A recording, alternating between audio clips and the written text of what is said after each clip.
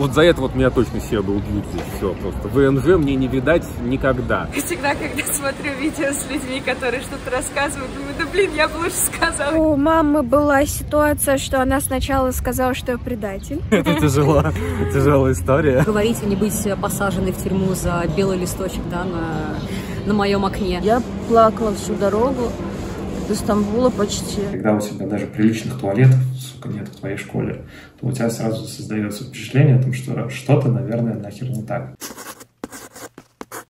Привет. Как Привет. тебя зовут? Откуда ты? Да, меня зовут э, Маруся, я не знаю, можно так. Э, я из России, сейчас живу в Сербии. А как получилось, что ты здесь оказалась? Как долго ты здесь? Но мы здесь уже 11 лет, родители приехали по работе, и, собственно, мы здесь как-то уже обосновались, начали жить. А ты помнишь вообще Россию? Ты А, катаешься туда? Вы зачем-то ездите или нет? Да, потому что у меня живет бабушка в России, ну, как в Москве, и мы, когда вот была возможность, и когда каждый раз, когда есть возможность, мы ездим, и уже в более осознанном возрасте я участвовала, э, здесь есть русский дом, и там есть всякие конкурсы, и я достаточно много участвовала во всяких этих программах, и, то есть я по России ездила, получается, вот. Здесь очень добрые люди, и э, здесь э, как-то не, та- не, та- не такой интенсивный и тяжелый ритм жизни, то есть все как-то спокойно и размеренно. А здесь на самом деле очень хорошо работают какие-то культурные программы, например, театры и там, ки- кинотеатры. Я не знаю, опять же, образование здесь достаточно, ну, ясно, что есть какие-то, есть минусы в системе, но а, образование на самом деле очень хорошее. Вот, и я не знаю даже.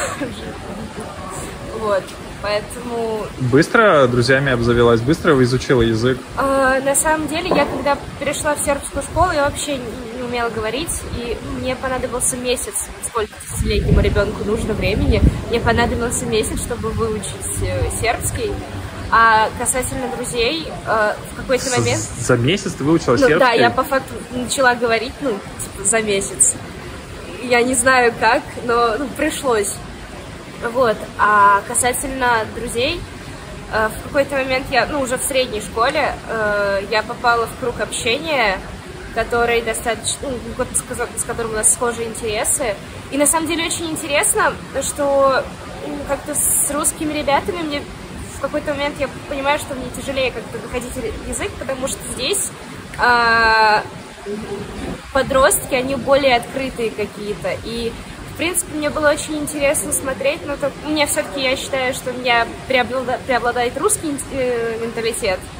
А, но плюс еще я как бы здесь 11 лет, и вот это вот вдвойне как-то это все, не знаю, проис- ну, не знаю. А в, чем ты видишь э, вот какую-то легкость и, например, сложность в общении с э, легкость с сербскими, например, подростками Да. и сложность с русскими? Ну, опять же, это к тому, что здесь люди более открытые, и они как-то более душевные. То есть даже если а, они более подготовлены к общению, то есть даже если это человек, с которым у вас совершенно расходятся там какие-то понятия, там, точки зрения, там, интересы и все такое, то есть просто любой там мужик на улице, я извиняюсь, но он как в большинстве случаев он просто будет открыт, у него будет желание просто поддержать эту беседу, и как-то вот легче найти общий язык. А в России люди, м, может, не знаю, они холоднее. Я люблю русских людей, но просто их вид- очень видно, как бы вот эта теплота, она очень, очень четко, не знаю, понятно, что, не Ага. знаю, очень виден контраст. А что скажешь насчет недостатков для тебя, что заметила? Э, Насчет недостатков, э, опять же, это относится к тому, что они очень расслабленные. То есть организация зачастую ужасная. И дисциплина, например, опять же, я вот здесь училась в школе, э, дисциплина, даже вот тот минимум, который нужен, просто вот для банального упрощения упорядочения системы, э, дисциплины нету вообще. То есть это, ну я не знаю, это очень редко встретишь, когда все четко, организовано и, ну, вот это, например, самый большой минус. Не знаю, Еще недавно мне телефон украли. Для меня сейчас это какая Нет, на самом деле здесь не, так, не такой большой, не такая большая, называется, я забыла русский, не такой большой, например, порог криминала. Еще, мне кажется, минусом то, что здесь, опять же, большой контраст между э, как-то образованным и необразованным обществом. То есть э, либо это супер образованные люди, либо это люди, которые, ну вот, видели, думаю, как ясно, что они живут, в деревне, это не то, что что-то плохое, просто очень большой контраст касательно этого образования, на самом деле. До всей этой ситуации, к сожалению, все-таки пришло, придется упомянуть, до всей этой ситуации у меня был план э, поступить в России на актерский, но пока что этот план пришлось заморозить, поэтому... В Москву хотела? Да, либо в Москву, либо в Питер, там, не знаю, ясно, что это первые два города, там, где еще есть актерские ну, там, филиалы. Сейчас какие у тебя корректировки, что думаешь? А сейчас я, меня, я беру год паузы, чтобы там подготовиться, заняться подготовкой по факту. Я поступала на актерский тут, а потом не знаю на самом деле, потому что не знаю, все-таки как-то хотелось бы э, быть в контакте и с Россией, и с Сербией, и плюс еще как-то хочется, не знаю, посмотреть, что вообще происходит в других странах, но не с политической точки зрения, а как бы с культурной. Как бы это все очень интересно, поэтому у меня нет какого-то определенного будущего, только знаю, что на, на актерскую поступлю, а там посмотрим. Но вот. до ситуации, которая случилась 24-го, да. ты планировал в Россию, да? Да, да, я планировала в Россию. И, ну, как бы, я когда приезжаю, я чувствую себя холоднее, на самом деле, потому что по атмосфере как-то оно тяжелее, но мне, я не знаю, мне все равно очень там нравится, вот именно не как туристи... не в туристическом плане, а как-то вот, не знаю, я как будто, ну, домой приезжаю, по факту. Не знаю, как-то там оно... Может быть, потому что там я детство провела, и оно так закрепилось все. А ты все это помнишь? Хорошо помнишь? Э, ну, так, да. да. До ну, скольки там, до 8, до 9? Да, до 8 лет я там была. Вот. Но как-то на эмоциональном уровне я привяз... успела привязаться. А там родственников много? У тебя бабушка? А, ну, у меня там бабушка и бабушка, дедушка по папиной линии, и все, собственно. Что бабушки говорят? Зовут в гости, чтобы ты там да, жила конечно, постоянно? Зовут, а мы их сюда зовем. Вот, и кто, сейчас посмотрим, кто переспорит. А они что, ну, типа, говорят, что возможно перееду в Сербию или вообще не, ну, не уедем из России никогда? Нет, они прям на своем стоят, поэтому вот. Видимо, мы будем ездить все-таки. Окей, что вот. хотела бы передать русским нашим зрителям, которые, возможно, семьи думают да. с переездами в Сербию, может вообще кто-то э, там, не знаю, остается, вот несмотря даже на всю эту ситуацию. Вот какое, да. может, пожелание? Ну, блин, всегда, когда смотрю видео с людьми, которые что-то рассказывают, думаю, да блин, я бы лучше сказала, и сейчас понимаю, что нет. На самом деле, я хочу сказать, что здесь э, э, язык, во-первых, по языку касательно языка, э, язык не, лег, не очень легко выучить. Он не похож, но этого не надо бояться. И здесь, в принципе, на самом деле очень комфортно жить. И есть какие-то, может быть, э, ясно, там, культурные различия, немножечко это все по-другому, но я не хочу сказать, что Потому что я часто вижу, там люди говорят, ой, как-то все тут культурно, нет, нет, вообще не так. И мне кажется, нужно просто, без, если хотите, ну, если есть желание сюда переехать, то без каких-то либо предубеждений ехать. И ну, здесь достаточно комфортно жить. И единственное, что может быть работа, да, это может быть проблемно, но в принципе главное не бояться, и все будет хорошо. Меня зовут Наташа. А, я из Санкт-Петербурга. В Сербии мы оказались, потому что мы бежали от войны 24 февраля. Вот. В целом мы планировали мигрировать из России в целом с мужем, но в Канаду и до конца этого года, то есть мы уже все документы собирали, вообще все делали. Но случилась война, у меня муж военно обязанный, э, офицер запаса, и мы как-то э, на этот счет немножечко напряглись и решили, что нам надо уехать. Вот, вариантов было особо немного. Сначала нам предложили Польшу, Польша перестала выдавать рабочие визы и предложили Сербию. То есть переезжали по работе. Компания перевозила, муж программист, и компания нас перевозила сюда. Компания оплачивала перелет, компания выдавала деньги на релокацию подъемные, ну вот такие вот все вещи. Про, ну, IT-компания, естественно. Ага. Скажи, как давно ты здесь? Как давно вы С здесь? апреля месяца мы сначала уехали в Армению, потом мы уехали в Грузию, и потом, пока оформлялись все документы, когда все оформилось, мы уже приехали в Сербию. Вот. У меня вообще полностью была налажена жизнь в Санкт-Петербурге, и это был город, в котором мне было очень комфортно жить, и там вообще все было у меня хорошо. А, сначала, когда мы уехали, оно как-то начало забываться, перебиваться новыми эмоциями, и плохими, и хорошими.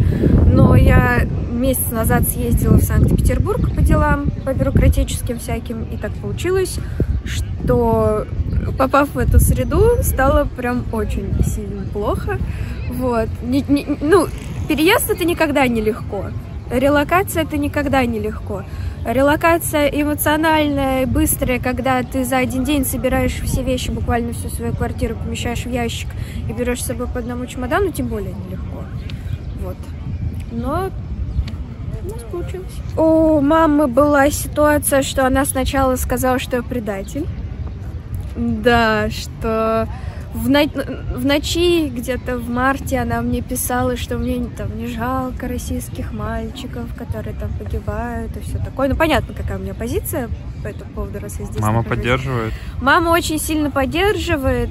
Ну, я ее заблокировала в тот момент. Э, У нас, в принципе, не было никогда теплых отношений, но здесь случилось так, что они стали еще менее теплыми. Вот. У меня все друзья очень классные, хорошие ребята, вот с ними было очень тяжело расставаться, конечно. А в целом, ну, у родителей, да, у родителей вот такая вот однозначная позиция. Причем такая позиция почти у всех родителей моих друзей. Ну, То есть у меня есть подруга, у которой отец э, смотрел видео, как Сирия, э, как в Сирии русские бомбят там людей, вот это вот все. И он говорил, что а что твои друзья уехали, что они не, не могут повоевать за родину, и вот эта вот вся история. Да, было, было жестко. Ну, эмоциональное давление со стороны старшего поколения было сильно в моем случае. Вот. Но, как правило, у моих друзей у всех такая ситуация. А бабушка и дедушка что? А, у меня баб- бабушки нет уже давно. Дедушка у меня умер в сентябре этого года. А, Его заразили ковидом в онкологическом отделении, в котором не должны были его этим заразить. В какой-то момент э, мир стал резко черным и белым, и появилось э, что-то резко отрицательное, что-то резко положительное, и как бы когда твой родственник выбирает резко отрицательное, есть такие мысли типа, ну, как так получилось вообще. Но в целом вот так. То, что ты не одна, то, что у тебя есть муж, это сильно помогает? Очень. Я не знаю, на самом деле, что бы было без него. Я в целом уже последние лет семь мы вместе. Вот. И у нас все такие сложные ситуации проходим мы вместе. И да, это очень помогает. Наверное, если бы я была одна, мне бы было гораздо сложнее все. Сербы по большей степени очень добрые и гостеприимные. Они мне очень напомнили грузин в этом плане. Вроде как по улице ходишь, и все такие хмурые немножко. Но как только у тебя появляется какой-то контакт с сербами, они оказываются очень улыбчивыми, простыми, открытыми ребятами. Э, Большое количество сезонных фруктов, потому что я в Питере даже летом ела только безвкусную клубнику. Вот, а тут очень много всего такого. Ну, в целом, для меня скорее больше минусов, чем плюсов от проживания в Сербии. Давай.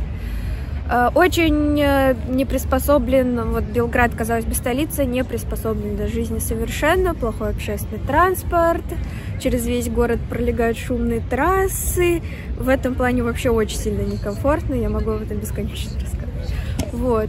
Без автомобиля здесь э, делать ну, не то чтобы нечего, но функционировать достаточно тяжело. Учитывая, что летом здесь жара плюс 36 градусов.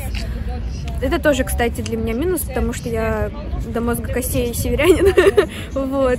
И вот так.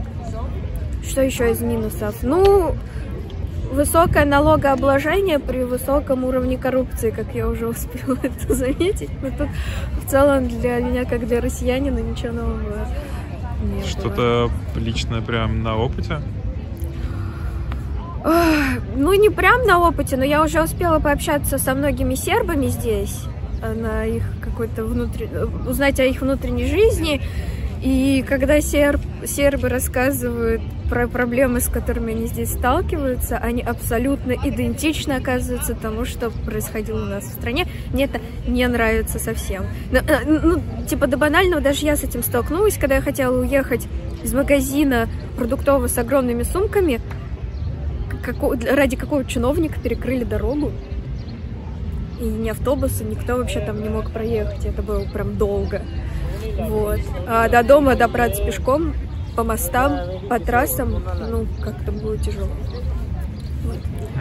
А, высокая арендная плата, все такое, но это типа типичная история для Европы в целом. Но я скажу так, а, высокий ценник за кварплату, всякие такие штуки, которые не соответствует качеству услуг, которые здесь предоставляются. Ну и в целом из минусов, да, меня бесит то, что граффити. Мне не нравится. То, что идешь по каким-то красивым центральным улицам, просто абсолютно безвкусно разрисовано вообще все. Ну, то есть вандализм в целом. У нас поставили новые мусорки рядом с домом, вот прям на моих глазах их поставили. И на следующий же день их просто вырвали с корнем. Кто вырвал? Зачем это было сделано? Они валялись там, побитые какие-то в, в округе, там на То их даже на себе траве. не унесли, их просто вырвали. Их просто вырвали, как- как-то побили, искалечили эти бедные мусорки. Ну, типа, зачем? Вот это мне не нравится, да.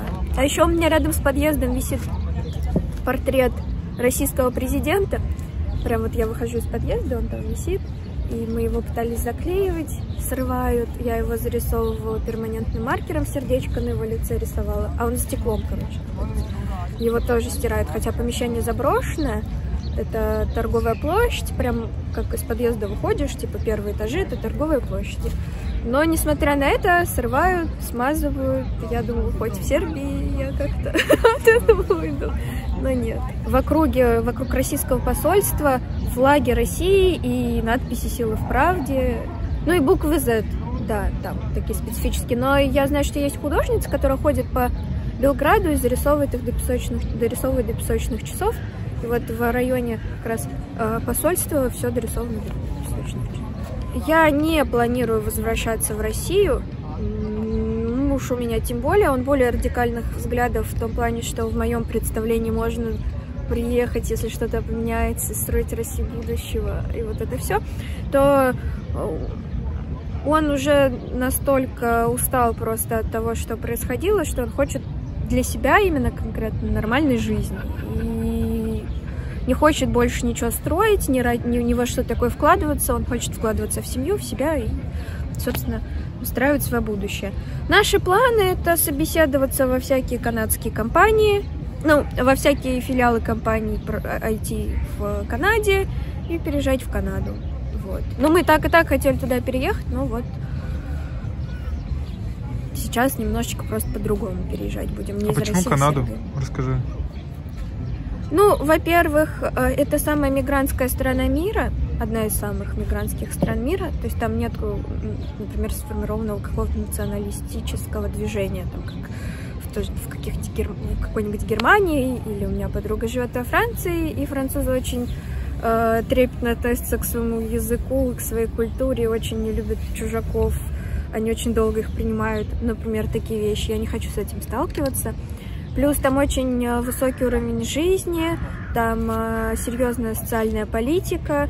Э, У меня есть представление о базовом ощущении безопасности. Оно складывается из хорошей медицины, из, доступной, из доступности этой медицины, из доступности разного рода другой помощи. И, на мой взгляд, когда я выбирала вообще место, куда переехать, Канада вот под все эти пункты подошла больше всего. Вот. Ну, плюс ко всему, у меня с ней такая любовь с детства. Типа, дедушка подсадил меня на хоккей, когда я была маленькая. Потом я нашла книжку про историю хоккея. Узнала, что там есть такая страна Канада. Начала интересоваться про эту страну, и мне просто, просто очень понравилась ее история. То есть это очень новая страна. Она там от колонии, от британской отсоединилась всего лишь в конце прошлого века. Вот, она только растет, э, она только вот как государство недавно начала существовать. Ну и, в общем, да, по этим признакам мне очень хочется. Круто. Если вы сомневаетесь, не сомневайтесь, потому что мне мама моей подруги сказала одну прекрасную вещь, что вот ей сейчас 40 лет, и, ну, 40 с копейками, и она прожила офигенную жизнь, но она все время ждала. Ждала, что все наладится. В 90-е ждала, в 2000-е ждала, сейчас ждет. И когда я сидела у нее на кухне, рыдала из-за того, что я не хочу уезжать, она мне сказала, блин, вот я прождала всю жизнь, это самое стрёмное, что можно сделать со своей жизнью. Вот. Езжайте и не думайте, пока молодые. Очень сложно переезжать, к этому надо быть готовым. Но если такие мысли есть, я считаю, что лучше попробовать, потому что вернуться можно всегда. Если вы не хотите никуда переезжать, то не надо никого слушать и не надо никуда переезжать. В целом придерживаться своих решений. После любого дождя выходит солнце. Я думаю, что в любом случае в России когда-нибудь э, все наладится. Я бы не ждала в ближайшее время, и я бы хотела сказать, что сейчас еще больше людям нужно надеяться только на себя и не ждать ничего от государства, даже каких-то базовых вещей, типа качественной медицины или хорошего уровня обучения. Вот. Надеяться на себя и знать, что пока вы живете в России, у вас есть только вы. Если вы себе не поможете, то никто не поможет. Так вот. Миша, Лина. Очень у нас приятно. э, история сложная, потому что я изначально приезжал в Чехию, мы хотели переехать в Чехию вместе, но чехи перестали выдавать визы россиянам, и из-за этого пришлось здесь обосноваться. Вот Ирина здесь 5 месяцев, я месяц всего. Когда война началась, я ожидала свою визу, но они прям резко обрубили э, вообще какие-либо визы, и Сербия оказалась э, наилучшим вариантом внезапного переезда именно в какую-то европейскую часть, то есть это не Армения с Грузией, куда и так уже перегружено было иммигрантами, а ну, Сербия, где и цены на жилье не такие, не так катастрофически взлетели, когда я только переезжала. А, Ну и можно было как-то выживать в целом. Да, ну я мог кататься из Чехии в Сербию, есть автобусы, их много, дешевые. Да. А ты, получается, катался туда и потом обратно в Чехию? Или Да, как? Ну, на выходные просто можно приезжать. Автобус идет примерно часов 10, э, ну, может, может, немножко больше. Чехия так недалеко от Сербии? Да, тут всего 600 километров. Там самая большая проблема именно на границе, потому что между Да, граница Евросоюза, и- Венгрия, да. там часто бывают пробки, можно там стоять 4 часа, можно стоять час. То есть ты никогда не знаешь, когда ты точно приедешь. Вот. Ты сейчас тоже приехал или ты уже с Нет, сейчас я здесь? уже здесь живу, месяц э, как прошел. Вот, мы недавно подались на ВНЖ еще, ждем решения. Я думаю, что будет положительное. Он открывал ИП, а я, соответственно, воссоединение семьи. Ну и при таком не среднем, конечно, для россиянина доходе, но открыть ИП вполне возможно. Э, Если ты ну, удаленно работаешь, ты можешь продолжать работать на какую угодно организацию. Документы мы собирали где-то в течение двух-трех недель, может быть. Мгм. И а, саму ВНЖ нам должны дать ответ в течение трех-четырех недель. Причем это дольше, чем обычно было ну, до войны, Мгм. а, потому что сейчас все равно поток иммигрантов в страну стал больше. Вот. А, и потом э, неделю они вклеивают визу, и все, собственно. Ты тут на легальных правах можешь э, угодно находиться. и Через пять лет можно и, и гражданство, собственно, уже получать. А после этого, вот после вклеивания этой визы, как-то можно путешествовать по Европе? Не? Ну, это дает преимущество в том плане, что можно делать шенген здесь. Потому А. что если ты живешь здесь без ВНЖ, то ты не можешь получать шенген э, здесь, в этой стране. То есть тебе нужно ехать в ту страну, откуда ты родом. Ага. У тебя паспорт. Вот. А так, если есть ВНЖ, то можно спокойно получать любые визы здесь именно. Ну, мы, собственно, если честно, и не планируем на до получения гражданства задерживаться в стране, потому Мгм. что Э, к сожалению, лично по моему опыту в Сербии более пророссийские настроения. У нас позиция абсолютно проукраинская, и поэтому не хочется здесь задерживаться. Мы планируем поехать в Польшу, где будет больше возможностей ну, тем же украинцам помогать. Mm.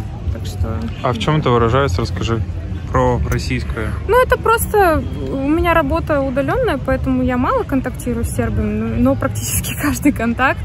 То есть это в такси, в кафе, ну просто с людьми начинаешь разговаривать на улице и ну говоришь им, вот я уехал, потому что я не поддерживаю Путину, Путина, и, собственно, начинаются вопросы в стиле, а почему, а он же так много для вас сделал, ну и тому mm-hmm. подобные вещи, типа, ну у них просто страна с такой историей, где э, отношения с русскими что-то в стиле в 13 веке начались, поэтому в теории можно понять, почему они так говорят, но мы не хотим находиться в таком обществе. Да, ну и здесь по Белграду везде нарисованы буквы Z, где-то есть софийские флаги, так что, да, в этом плане здесь не очень приятно находиться. Вот. Ну в целом уровень жизни здесь низкий, то есть если сравнивать с более западными странами, соседними странами, там та же самая Венгрия, допустим, или Польша, то там, конечно, намного лучше. Мы просто еще живем не в Белграде, а в Новисаде. И даже между этими двумя городами чувствуется серьезная разница.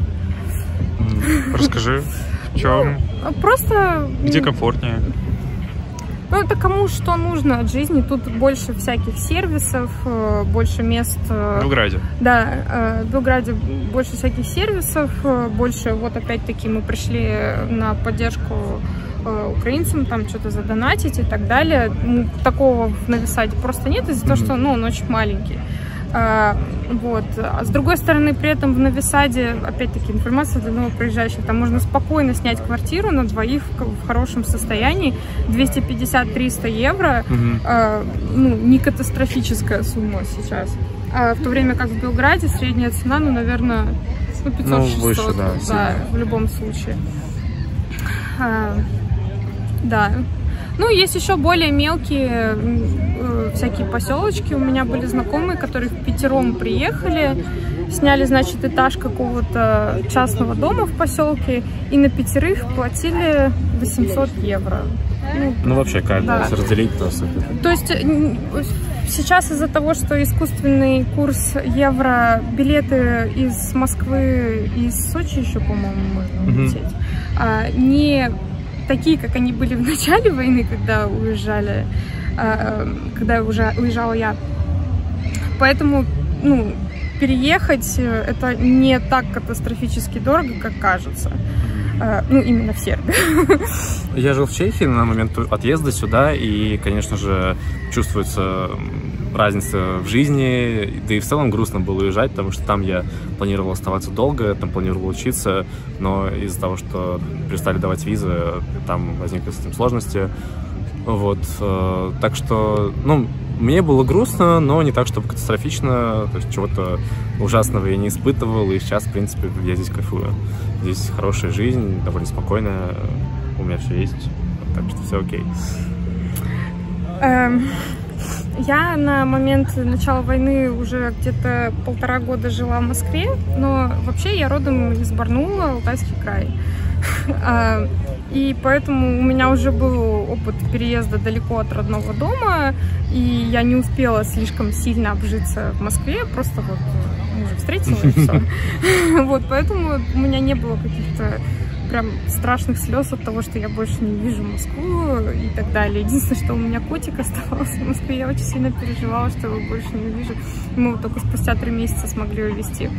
А, значит, война началась 24-го, 28-го я уже улетела. То есть у меня было 4 дня на все про все, собраться, уехать. И больше нервов было ну, из-за этого, собственно, что я на самом деле не знала, куда лечу, я знала, ну, одно. Я больше не могу находиться в России просто из каких-то личностных э, соображений.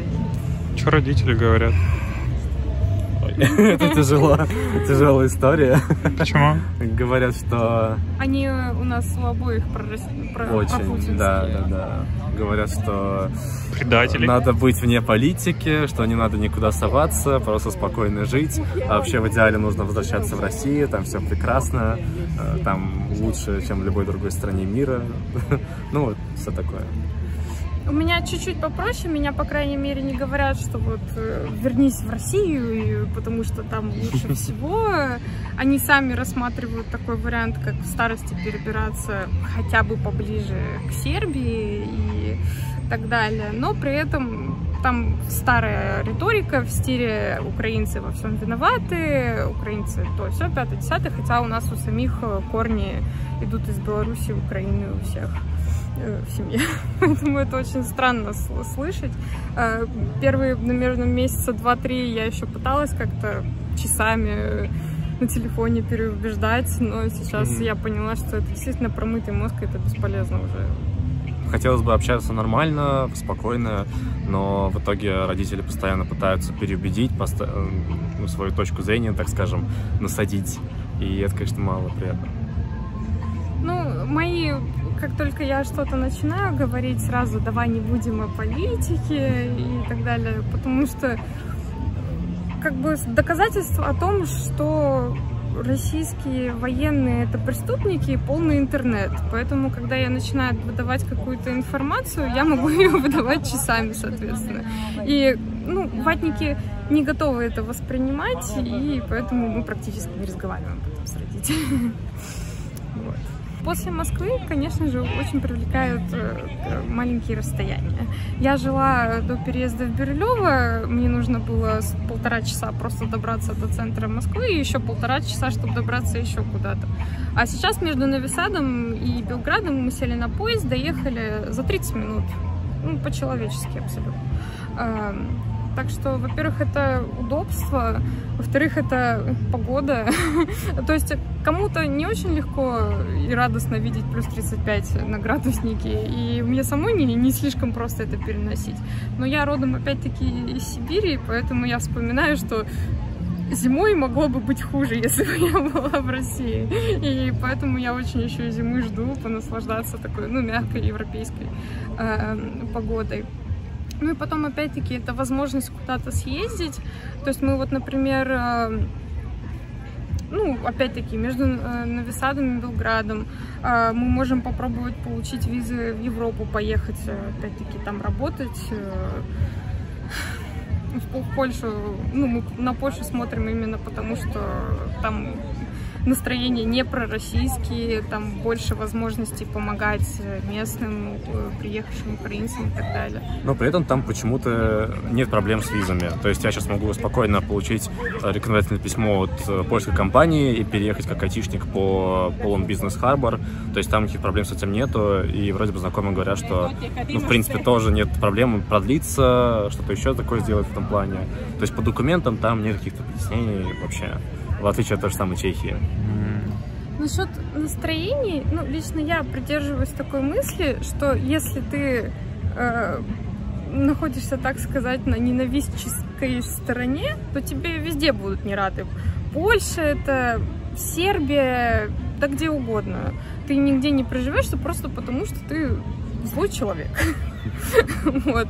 А если ты, ну, стремишься помогать другим людям и вообще добро какое-то по, по жизни несешь, то все будет хорошо. Ну, там такая моя личная философия, поэтому лично, ну, я не боюсь в Польшу ехать. Даже если я столкнусь с какой-то ненавистью, ну, мне не важно от кого, это, это не моя вина, ну, никак. Про минусы что скажете? Какие минусы заметили для себя в Сербии, Новисаде, Белграде? Но опять же, пророссийскость э, общества. Ну, здесь не так плохо, как многие думают. То есть ну, просто СМИ часто демонизируют Сербию, что здесь абсолютно все за Россию, что все топят за Путина и так далее. На самом деле это не так. Э, Здесь много людей за Украину, поддерживают ее, но э, тем не менее все-таки чувствуется, что значительная часть общества за Россию. Э, Это первое. Второе – это низкий уровень жизни. То есть здесь так скажем, и плюс, и минус, потому что здесь э, очень дешево все, то есть можно спокойно жить здесь на, ну, примерно 500-600 евро в месяц. Опять же, если это не Белград и не нужно снимать дорогую квартиру, то очень доступно получается. Но да, минус то, что, соответственно, уровень жизни достаточно низкий по сравнению с более западными странами. То есть э, это неухоженные города могут быть, э, некая всеобщая такая вот неопрятность в целом тут замечается. Ну, насчет неопрятности, э, опять-таки, я здесь живу почти 5 месяцев, и она быстро прекращает замечаться. То есть, когда переезжаешь из Москвы, где каждый угол э, от пыли очищен, конечно, ты это видишь, но потом со временем ты привыкаешь, таких вещей уже не видишь, что где-то там мусор валяется и так далее. Э, еще насчет минусов, ну, я бы ну, ладно, я лучше еще дополню просто. А, у меня просто постоянно спрашивают, э, сколько еда стоит элементарно, и я сравниваю, ну, я не могу сравнить с тем, что сейчас в России, потому что я не знаю, что сейчас в России.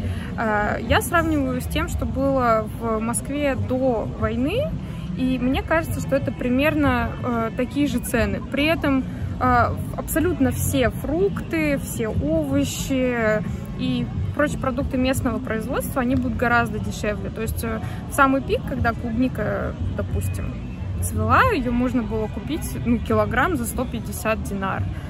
150 э, динар, ну, я к рублям не буду сравнивать, но это чуть больше, чем 1 евро. Вот. Угу. Поэтому, ну и в целом еда есть очень вкусная, вот те же самые фрукты, овощи, мясо, все просто прекрасное, высочайшего качества. А, сметана мне, кстати, тоже очень нравится здесь. Я постоянно ее ем. Да, ну вот как-то все равно, когда переезжаешь из-за войны, видишь одни плюсы в другом месте, потому что думаешь, ну, по крайней мере, я не плачу налоги в России, и они не идут mm. на убийство. Здесь мы планируем оставаться еще несколько месяцев точно, пока я занимаюсь всякими документами для польской визы. Вот. А потом, получается, мы планируем пожить в Польше и, возможно, потом переехать в Великобританию, но пока это не точно. Пока еще... Это очень далекие планы. Пока что нам в Польшу хотя бы переехать и все. Вот, да, в России возвращаться пока не планируем вообще. С концами прям. Э, ну, мы этого мы об этом думали еще до начала всех событий. Мы оба люди, которые любим попутешествовать и как, как, как бы это сказать? Ну, российское общество не для нас. Может быть, когда Путин отойдет от власти и весь государственный аппарат перестроит, э, то я увижу какое-то будущее в этой стране. Э, но я переводчик, э, меня также интересуют как бы больше другие страны, э, поэтому мы не видим смысла оставаться в России. Родных посещаете в гости? Э, ко мне брат приезжал сюда в мае как раз таки кота перевозил сюда, ну и заодно с ним гуляли. А так, э, я постоянно зову своих родителей, но они не хотят никуда уезжать, потому что они боятся всего, всех стран. Ну, то есть даже, допустим, в Армении предлагал встретиться, они сказали, что нет, э, там небезопасно и так далее. а, небезопасно в плане, что они говорят, там враги везде? Да. Везде враги, русофобия. Ну, у меня немножко получше в этом плане. Возможно, зимой приедет мама, там может быть и папа, но все еще усложняется тем, что им сначала нужно из Сибири прилететь в Москву, а потом уже из Москвы в Сербию. То есть это ну, дополнительные траты довольно серьезные. Эм, то есть они не против того, чтобы приехать в гости э, или встретиться на какой-то третьей территории. Я, конечно же, очень сильно по ним скучаю, ну, в любом случае, но, опять-таки, я до этого уже два года жила в другом городе, виделась с ними раз в полгода, поэтому это не стало какой-то страшной психологической травмой, что я буду редко видеться с семьей. Я бы порекомендовал уезжать. Сербия для этого хороший вариант. Здесь достаточно дешево, здесь можно обустроить свою жизнь. Здесь э, много русских, то есть, в принципе, не так сложно найти работу. Э, даже, даже если вы не знаете, наверное, английского языка, то тоже даже вполне себе можно найти. сербского да. можно устроиться. Если вы знаете только русский, я постоянно вижу вакансии вот ну, есть русский телеграм-канал о том, что ну, нуждаются в русских мастерах, там, я не знаю, ноготков условно, угу. русских строителях, потому что, опять-таки, здесь огромная русская комьюнити, которая готова предоставлять рабочие места. Я сделаю небольшую саморекламу, наверное. Я просто готова всем оказывать информационную помощь, как минимум. Мне можно написать и задать абсолютно любой вопрос, даже если он покажется тупым э, вам самим, я с радостью отвечу на все. Насчет работы, переезда, жилья. Да, то есть что знаю, как бы скажу, но опять-таки я здесь приличное уже время, какой-то опыт насчет визаранов, насчет получения ВНЖ, насчет перевоза животных, э, насчет того, где искать квартиры, насчет того, где покупать подешевле еду, не знаю даже. Э, я готова по, по круто, информационную, круто. по крайней мере, помощь оказать. Э, вот. Э, и еще, да, просто попробуйте. Тут нету документальных проблем. Многие люди считают, что визаран звучит очень нелегально, но это не так. Это очень простая процедура. Я ездила на него четыре раза уже, ну, пока не подалась на ВНЖ. Есть люди, которые на него ездят 9-10 лет каждый месяц спокойно. То есть можно абсолютно легально находиться, у вас не будет никаких проблем. Объясни, кто не в курсе. А, в, у Сербии и России безвизовый режим 30 дней. А, поэтому раз в месяц необходимо доехать просто до границы, обойти а, пограничную будку, а, показать там паспорт, тебе поставят штамп, и все, ты можешь ехать обратно, ты абсолютно легально находишься там, просто надо это вовремя делать. Даже если вы это сделаете вовремя, там будет 31 день, 32. Пограничники на это спокойно закроют глаза, спокойно поставят вам штамп. То есть со мной такая ситуация была самый первый раз, э, собственно, когда я ездила. Было очень страшно, но тем не менее я до сих пор в стране. вот. И все, и обратно, и опять так 30 дней, и так просто надо ездить каждый месяц. Но это легальная процедура, спокойно ну, в целом я могу добавить, что здесь э, государственные органы работают супер спокойно. То есть э, вы вот это сразу видите, как приедете в страну, что здесь э, даже не будут смотреть ваш паспорт, не будут смотреть там вас, ничего не будут спрашивать, просто поставят там печать, и все, вы приехали в Сербию. Ну и так здесь везде. То есть мы когда подавались на ВНЖ, то нам там спокойно объясняли, что нужно доделать в пакете документов, что нужно донести. То есть нет такого, что здесь очень строго в плане документации и вот всего этого этого. Да, опять-таки, даже если вы не знаете английский язык, это будет просто. Действительно просто, потому что сербский и русский, они очень похожи, и на пальцах вы сможете объясниться. Также процедура есть еще получение белой, белого картона, то есть когда вы приезжаете, вам нужно прям сразу идти в полицию и говорить, вот я такой-то, приехал тогда-то, и вы получаете бумажку временной регистрации, которая опять-таки называется белый картон. Если э, вы задержитесь с этим на 4, на 5 дней, да хоть на неделю, э, вам опять-таки ничего не скажет, хотя, по идее, надо делать это первые 24 часа. То есть все на чили, все очень спокойно, э, вас не выгонят. Вам здесь только рады. Русский вы или украинец тоже, потому что многие считают, что раз про российское общество украинцы, то надо выбирать какую-то другую страну, куда ехать. Но, тем не менее, когда я опять-таки прохожу делать белый картон, э, их там всегда очень много, и все спокойно все делают, им ни в чем не отказывают. Ну да, мы встречали здесь украинцев, э, никто особо не жаловался на жизнь здесь. То есть, да, все окей для всех.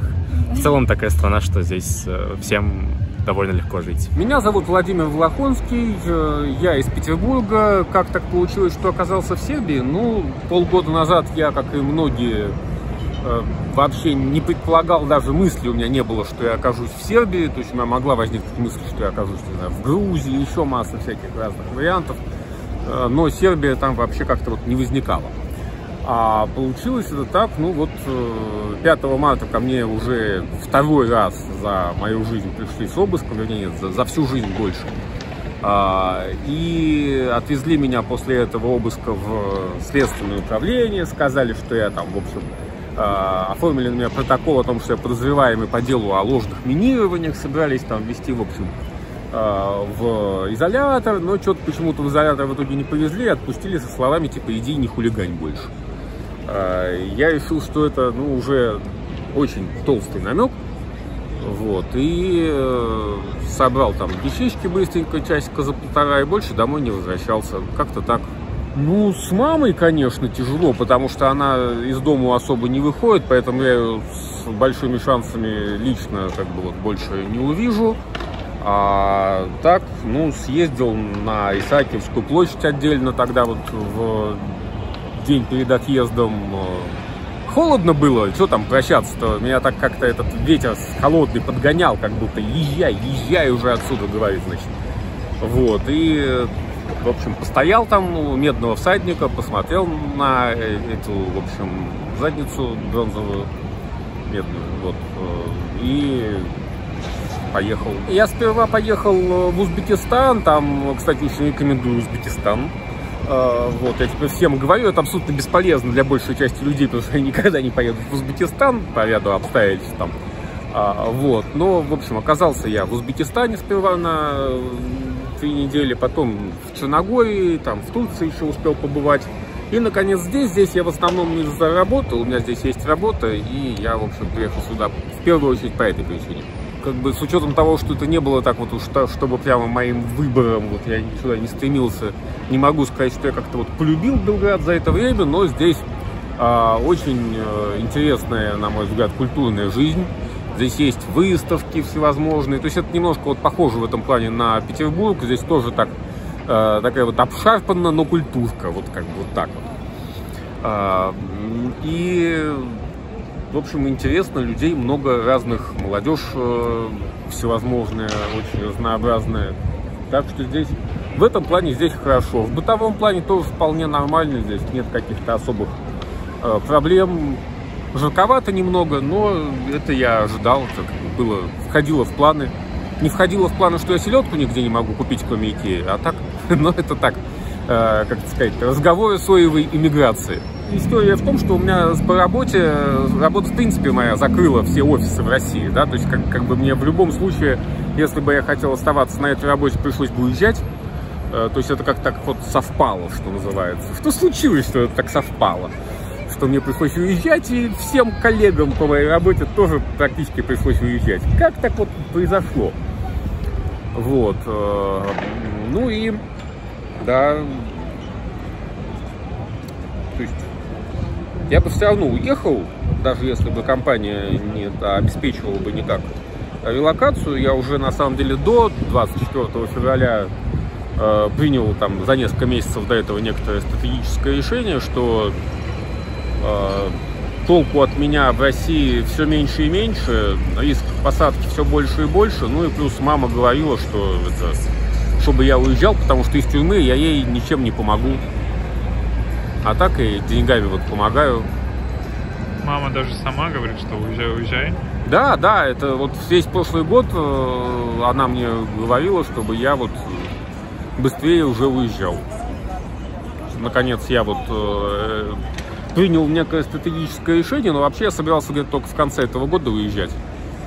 Изначальный план такой был. Спокойненько там собрать документики, оформить все эти релокации, релокации, визы куда-нибудь в э, более, не знаю, как это сказать богатое место. Ну, главный для меня, наверное, это политический климат, в том смысле, что здесь, ну, такая, в общем, путинская пропаганда сплошная, насколько я понимаю, в СМИ. Люди, в общем, в нее верят, как и в России. Они здесь, по-моему, Путина любят даже больше, чем в России. Вот. Это главный, пожалуй, минус для меня. В чем это выражается? Ну, если спросить кого-нибудь на улице про то, что они там думают, что вот они будут говорить, что они поддерживают Путина, там, если с кем-то вот познакомиться случайно, не там по политической какой-то тусовке, то тоже как бы люди будут удивляться, что как я, как я могу быть русский против э, там э, Путина. Он же так много для России делает и вообще не это самое, не поддается Западу и вот это все. Других каких-то существенных проблем здесь для меня нету. Вот чтобы именно они были сколько-то существенными. Я не знаю, что тут может быть еще не так. Ну, Говорят, зимой здесь воздух где-то плохой в каких-то районах, но я поселился там, где все хорошо будет.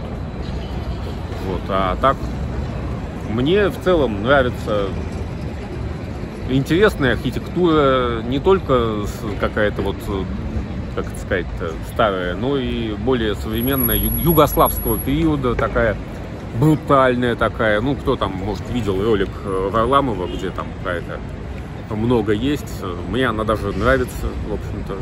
Много интересных именно зданий. Они все разные. То есть, отличие от э, того, что у нас, что у нас вот эти вот э, как это называется, районы Хрущевок и Брежневок, там э, все дома типовые. То есть там есть, не знаю, там 20-30 серий, из которых там 7 сильно популярные. И вот большинство домов э, такого рода в Петербурге относятся там к семи различным типам.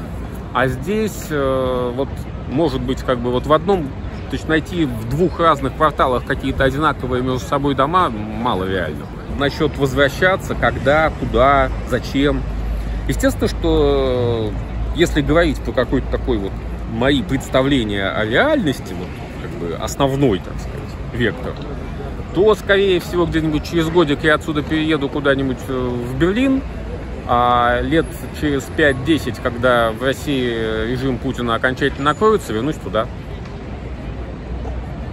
План такой пока. Но это как бы такой план, что я, э, может быть, я за это время, не знаю, познакомлюсь с э, знойной балканской женщиной, решу никуда не уезжать из этого прекрасного, любимого Белграда, что здесь все шикарно вообще. Я люблю сербов, я люблю Сербию. Э, там, не знаю, я всех люблю, даже военных преступников сербских обожаю, они герои, вот это все. Вот, мало ли что со мной тут произойдет за это время. Если думаете насчет переезда, ну что, переезжайте, что я тут могу сказать. Ну, Сербию рекомендуешь? Э, в Сербию, ну, как бы здесь сразу все начнут спрашивать, а почему в Сербию? Вот как бы не рекомендую, потому что все вокруг начнут спрашивать, а почему в Сербию? Ну, в Узбекистан ты рекомендуешь? А в Узбекистан, да, рекомендую, потому что там ты сразу скажешь, э, там у тебя есть четкий ответ на вопрос, почему в Узбекистан. Ты сразу говоришь, плов. И все понятно. А как бы, ну, не знаю, плесковец это не то, ребят, не то, вообще не то. Вот, вот, вот как бы, вот за это вот меня точно сербы убьют здесь, все просто. ВНЖ мне не видать никогда. Я оскорбил плесковицу, все, черт. Беда, катастрофа. Все, пошел собирать вещи в Сараево не поминайте лихом. Привет, я из Карелии, из Петрозаводска. В общем-то, в Сербии оказался, потому что, ну, можно сказать, прежде всего по экономическим причинам, потому что я не могу получать теперь деньги в России со своей работы. Я разработчик, как бы работаю на компанию Великобритании, поэтому э, очень тяжело было бы продолжать получать деньги в России. Я знаю коллег, скажем так, из России, которые не уехали до сих пор и которые пытаются там сейчас деньги получать. Э, куча проблем с этим. Вот. Я, как бы, скажем так, в некотором виде, в некотором роде это предвидел, и поэтому, можно сказать, заранее переехал. Ну и в целом вся эта ситуация достаточно сильно напрягает, и хотелось как-то абстрагироваться от нее. А абстрагироваться можно только, наверное, ну, адекватно, только одним способом, это уехать. Вот. Ну, я это так вижу просто, по-другому никак. Вот. Компания как-то помогала с переездами, она как-то вам способствовала? Вот здесь, к сожалению, хочу сказать, что нет. Вообще не было никакой поддержки от компании. Единственное, что было, это в определенное время, то есть это февраль, апрель, а, ну, февраль, март, апрель, наверное, да, вот так, февраль, март, апрель, компания сказала, что любые отгулы, которые, ну, типа, неоплачиваемые сотрудники берут, они будут оплачиваться. Наверное, только вот, вот так помогла, да, то есть у меня там было три отгула, как раз-таки, которые я там, ну, на перемещение брал, то есть на перелет и так далее, на все вот эти вещи. В остальном никакой поддержки от компании не было, то есть вот ну, многим помогали с переездом. Многим, да, помогают, но вот... Возвращали, вот, типа, за билеты. Так уж получилось, да, так уж получилось, что не в нашем случае. Не в нашем случае, в нашем случае не помогали. Ни с документами, ни с бумажками, ни с легализацией, вот, ни даже там с деньгами, с жильем, вот. Сложно было улетать по финансам, по моральной составляющей, бросать близких? А, тяжело, в принципе, было принять решение, чтобы уехать. У меня была вот такая ситуация, то есть я где-то недели три уже думал о том, что вот, надо уезжать, надо как-то спланировать отъезд, надо как-то свои дела все порешать в стране и прочее, прочее. То есть, и я ничего фактически не делал, ну, ничего не мог себя заставить сделать. И пока я не взял билеты и четко не определился с датой отъезда, пока я вот этого не сделал, я так и продолжал, то есть, ну, как это сказать, бездействовать. А когда, собственно, ну, взял уже билеты, э, проще как-то дело пошло. То есть я уже знаю, что я уезжаю в это время. И на самом деле, на самом деле, изначально я вообще планировал в Армении оставаться. Вот так вот получилось. Я планировал, я планировал в Армении остаться. Не знаю, насколько, то есть мы еще планировали как бы с, с другим другом вместе в Армении пожить, там, может, поработать и так далее. Но так получилось, что мой друг, тоже еще один мой друг, он приехал в Сербию и буквально вот в то время, когда я взял себе билеты, позвонил мне и сказал, что а давай в Сербии, может, тут чего-нибудь э, намутим. Я подумал, что всегда проще, когда у тебя есть какие-то знакомые друзья, то есть твои там родные, так скажем, где-нибудь. Поэтому я решил переехать в Сербию. Ну, наверное, это одна из таких основных причин. В принципе, мне было, ну, мне было не, не сильно важно, в какую конкретно страну, то есть уехать. Мне более важно было себя чувствовать как-то там в безопасности и, опять же, абстрагироваться от ситуации, как я и сказал. Вот так, наверное. А родные что, переживали, не переживали? Мама, родители, что? Ну, родные больше поддерживали, я так скажу. То есть не было такого, чтобы вот ты что-то уезжаешь, а что-то нас бросаешь. Такого не было.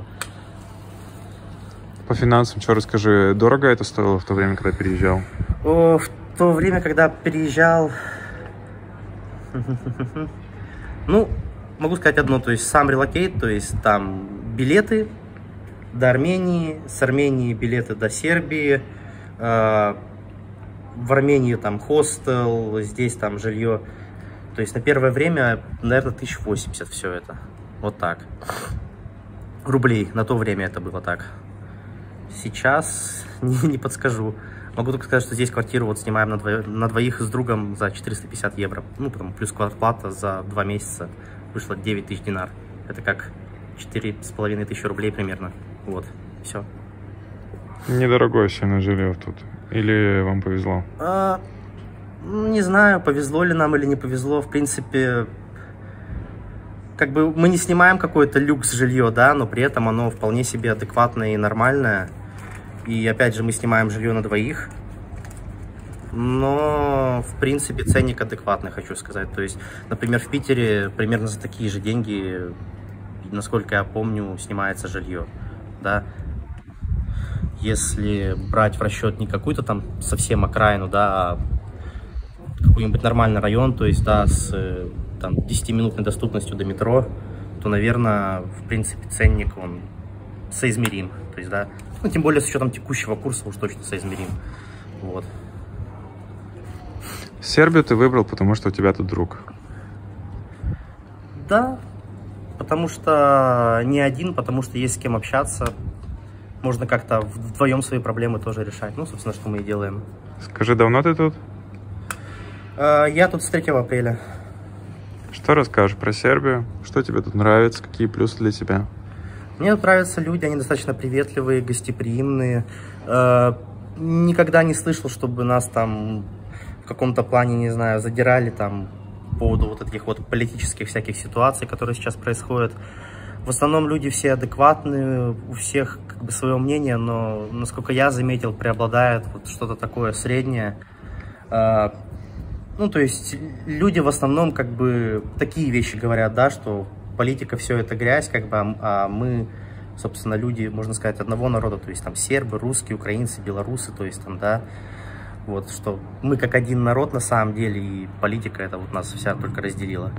Ну, то есть вот какое-то такое мнение преобладает в основном, я бы так сказал. И есть здесь на самом деле тоже и те, кто поддерживают ситуацию, кто-то поддерживает Путина, я думаю, это, это не секрет. С другой стороны, я не заметил, чтобы это как-то людям крышу сносило, то есть все равно здесь какая-то присутствует аура уважения другого мнения. То есть, да, я, если я с ними не согласен, то я не обязан ничего доказывать и могу спокойно свою точку зрения выражать. То есть так здесь, ну, все люди действуют, по сути. Здесь достаточно вкусно, здесь недорого, здесь очень небольшие порции, здесь обычно никогда не нужно заказывать там первое и второе себе, потому что с первого точно уже порвет лицо. Окей. Что скажешь про недостатки, которые ты заметил? Наверное, для меня климат – это недостаток, что слишком жарко для меня. То есть здесь буквально уже где-то с, э, середины апреля, наверное, уже слишком жарко для меня. Вот. То есть весь май было очень жарко, сейчас вот середина примерно июля постоянно жарко, то есть кондиционер дома практически не выключается. Из-за этого как бы, ну, тяжело там ходить куда-то, гулять и так далее. По поводу того, что захочу ли я в принципе приезжать в Россию, то сто процентов, наверное, да. Потому что там друзья, там знакомые, там близкие и так далее. А вот по поводу, хочу ли, захочу ли я снова жить в России, я не знаю. То есть это неизвестно, то есть непонятно, как повернется ситуация, как это все устаканится, не устаканится, куда это все пойдет пока это не ясно, то есть нельзя такие планы строить. Пока в Сербии получается? Ну, пока вот в Сербии остановились. Год, два, сколько? Не знаю, ну год точно, я думаю. год, я думаю, вообще точно. Тем более, что мы уже визу тут получили. А, когда мы получили? Ну, в июне, получается. В июне мы получили визу, значит, до следующего июня я имею право здесь находиться. Не выезжаю. Так что вот.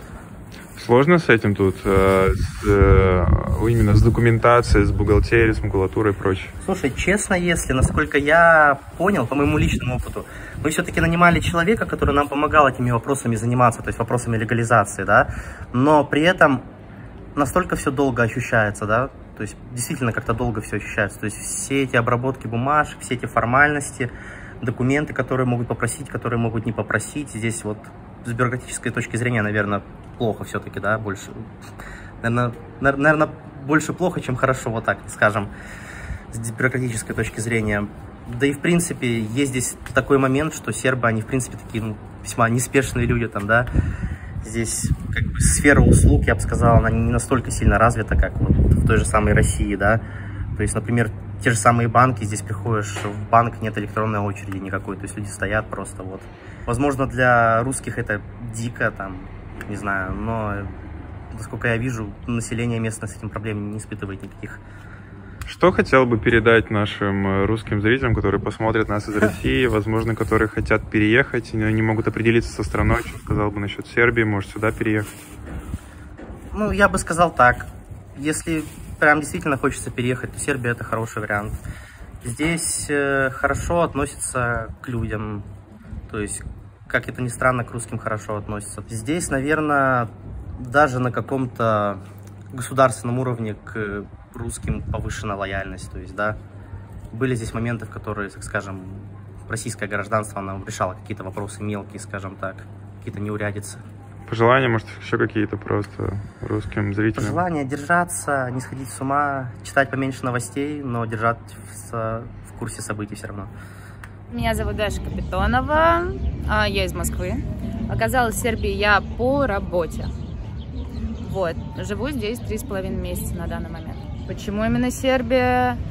Потому что мне нравится эта страна, я здесь уже была, здесь у меня живут друзья. А, вот, и когда я здесь последний раз была год назад, я подумала, что, наверное, я хочу сюда приехать пожить, просто понять, приживусь, не приживусь, но я не думала, что это случится в таких обстоятельствах, в которых это случилось. Можешь сказать, что тебе понравилось, про плюсы для тебя, которые тебя привлекают в Сербии? А, ну, наверное, нельзя брать Сербию в купе. Я беру Белград, потому что он достаточно сильно отличается от всей остальной Сербии. Если там съездить в ту же самую Субботицу, это немного другой вайп. Это такая, ну, не скажу большая деревня, вот, но там совершенно другие люди. Если мы говорим про Белград, то он классный, он прогрессивный, но при этом он небольшой, он камерный. Вот. Через какое-то время у тебя появляется ощущение дома практически везде, потому что куда бы ты ни пошел, ты в целом встречаешь знакомых, Вот, а, ты себя везде комфортно чувствуешь и безопасно, что важно, чувствуешь, потому что я всю жизнь жила в Москве, и я не испытывала такого чувства безопасности. А в чем это проявляется? Да даже в том, как я, я не знаю, ты вечером гуляешь. Опять же, я девушка, возможно, я, конечно, немного накручиваю себя, но в Москве было достаточно много прецедентов, когда тебе свистят, тебе кричат, при том, что все говорят про а, специфический нрав э, сербских мужчин, да, здесь такого отношения ни разу не В чувствовала. в сторону себе. темпераментности или чего? Да, да, пр- про то, что они горячие, очень э, любят спорить там и так далее и тому подобное. А свистывание и прочего ты не наблюдала? Ни разу. И отношение, оно супер радушное со стороны сербов в целом, как народа. Безопасность, цены, как тебе тут? Ну, э, сложно судить про цены с нынешним курсом, потому что м, непонятный, нестабильный рубль, но если про жизнь, то мне кажется, что здесь очень комфортная жизнь. Про плюсы окей. Что про недостатки для тебя? Ага. Ну, наверное, главный недостаток э, это куда меньшая прогрессивность в плане какой-то бумажной волокиты, да, типа банки, местный МФЦ, тебе приходится заполнять это все от руки, долго-долго очень ждать, приложение банка, которое не работает по выходным, потому что у них выходные, вот, но опять же к этому можно привыкнуть, я бы не сказала, что это грандиозный плюс, это доставляет некоторый дискомфорт э, в начале жизни, да, а, здесь. Что еще? Ну, медленность, наверное. Здесь это город э, slow life такой, и э, ну, темп в десятки раз э, ниже, чем в Москве. Сложно адаптироваться? Сложно. Первое время было очень сложно, особенно когда ты работаешь с сербами, ты просто такой, вау, типа, ничего себе, одну задачу можно делать 4 дня. Окей. Скажи, пожалуйста, я сейчас тебя забрал на очень интересное мероприятие, где люди собираются к пробежке. Ты как организатор можешь подробнее рассказать, что это? А, да, а, это Ребаф. Вот. а, Это такая гражданская инициатива. По сути, это была сначала инициатива моя и моей подруги Кати, а, потому что мы сидели и думали то, что, блин, мы здесь живем, мы живем в безопасности, и даже, я бы сказала, в каком-то информационном пузыре, потому что в целом сербы, они классные, добрые, открытые к помощи, но нет такого, а, что они рвутся помогать или вообще информированы о том, что сейчас происходит в мире, в частности, а, военная операция на территории Украины, и есть организация, которой, мне кажется, очень важно помогать, а, нужно помогать. Это организация Helping to Live, которая помогает в эвакуации украинских беженцев и украинских жителей с территории, где проходят боевые действия. Ну вот, и, соответственно, мы решили сделать первое мероприятие. Это было своп, обмен вещами. Соответственно, люди приносили свои лоты, и эти лоты можно было купить за донат. После первого мероприятия к нам присоединились еще ребята, совершенно разные дизайнеры, художники. Это не первое мероприятие. Это второе мероприятие. Вот, а, и мы решили его делать мультиактивным, где э, каждый найдет что-то для себя. У нас сегодня были активности для детей, у нас сегодня был э, забег э, для детей тоже и для взрослых, йога-класс, и у нас был маркет, на котором тоже можно купить разные лоты за пожертвования. Вот, и все вырученные средства, опять же, идут организации Baby. Вот и все. Я в любом случае поеду в Россию, потому что это, ну, как бы из песни слов не выкинешь. Я россиянка, и я из России, и там моя неотъемлемая часть жизни находится. Я в любом случае туда поеду. А я вижу свою жизнь в ближайший год-два в Белграде, дальше, дальше, кто знает. Получается, получается гражданство, учить язык, как А, ну, я учу язык, да, активно. в Россию в гости или как? А, ну, в гости, да, у меня там собака. Любом случае, мне ее сюда надо привозить. Сложно с этим? Очень. Очень сложно, потому что Air Сербия не летает с большими собаками, только в багаже по карго. Вот. Можно через Турцию, но Турция в красной зоне по бешенству, очень много сложностей с этим. Вот. Я уважаю выбор каждого, вне зависимости там человек уезжает или остается. Просто типа, не говорите ни про кого плохо, делайте добрые дела, помогайте друг другу, потому что нет, людям, нет людей, которым просто сейчас. Вот и все. По твоему мнению, Сербия хороший вариант для переезда? Смотря для каких целей. Ну, как бы, мне очень сложно судить э, безотрывочно от чего-то. То есть у тебя должно быть здесь что-то, я считаю. Э, то есть есть вариант переезжать в никуда, а, но для меня я такой даже никогда не рассматривала.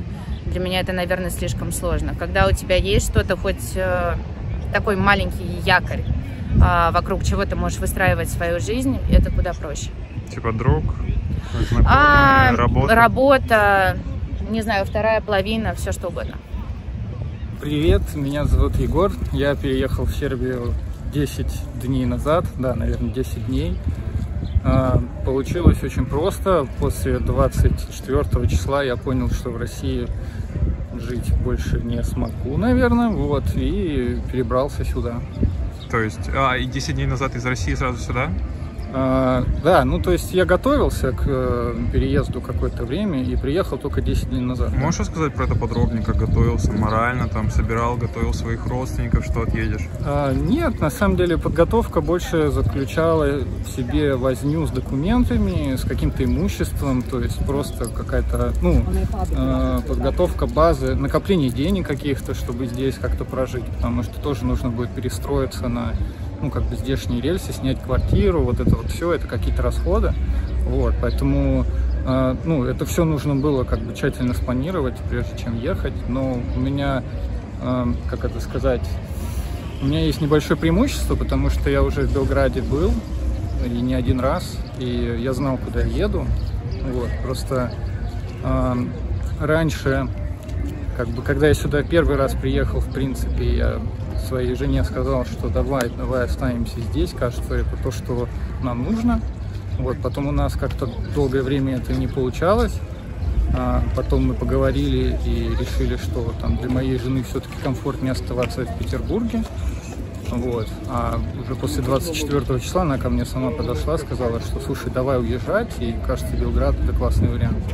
Вы вместе переехали, естественно. Ну, она приедет чуть попозже, и нужно закончить кое-какие дела в Питере. Я сюда приехал документально оформиться и ну, э, все, ну, все бумажки сделать, все, все тут настроить, снять квартиру, вот это все. Скажи, что с родственниками, что с друзьями, как прощался? Ну, со всеми была какая-то последняя финальная встреча. В принципе, ну, каких-то эмоций сильных э, не было, потому что все все понимают. Вот, и в том числе, наверное, мои родственники понимают, какие-то причины, следственные связи у них работают. Вот. А друзья, в принципе, в большинстве своем как бы разъехались, да, то есть у меня не очень много людей из тех, кого я считаю близкими друзьями, остались в России сейчас. Скажи, а, у тебя тот случай, что ты на свои личные средства, тебе не помогали с переездом, там твоя компания, твоя работа? А, нет, мне помог, помогут только одним, что а, я смогу, а, как это сказать, заключить договорные отношения с компанией, нашим, с нашим европейским офисом, и это даст мне возможность здесь получить ВНЖ.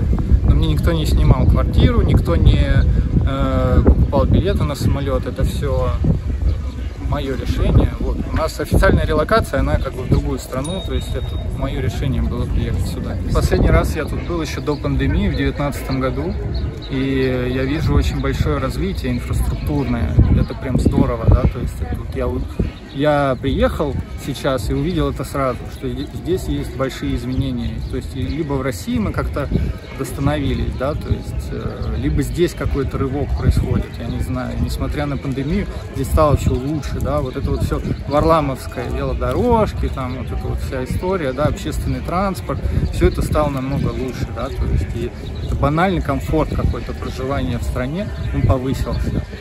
Вот. А климат здесь прекрасный, да, то есть инфраструктура Белграда хорошая. Белград хороший крупный город без компромиссов, да, то есть э, и после Петербурга я не чувствую какой-то разительной разницы, да, то есть, ну и последний, самый, наверное, весомый аргумент, ну, э, мне просто нравятся сербы, да, то есть и сами по себе это, ну, как мне кажется, пока что, э, надеюсь, это также останется мнение, да, что они просто классные, да, то есть как люди.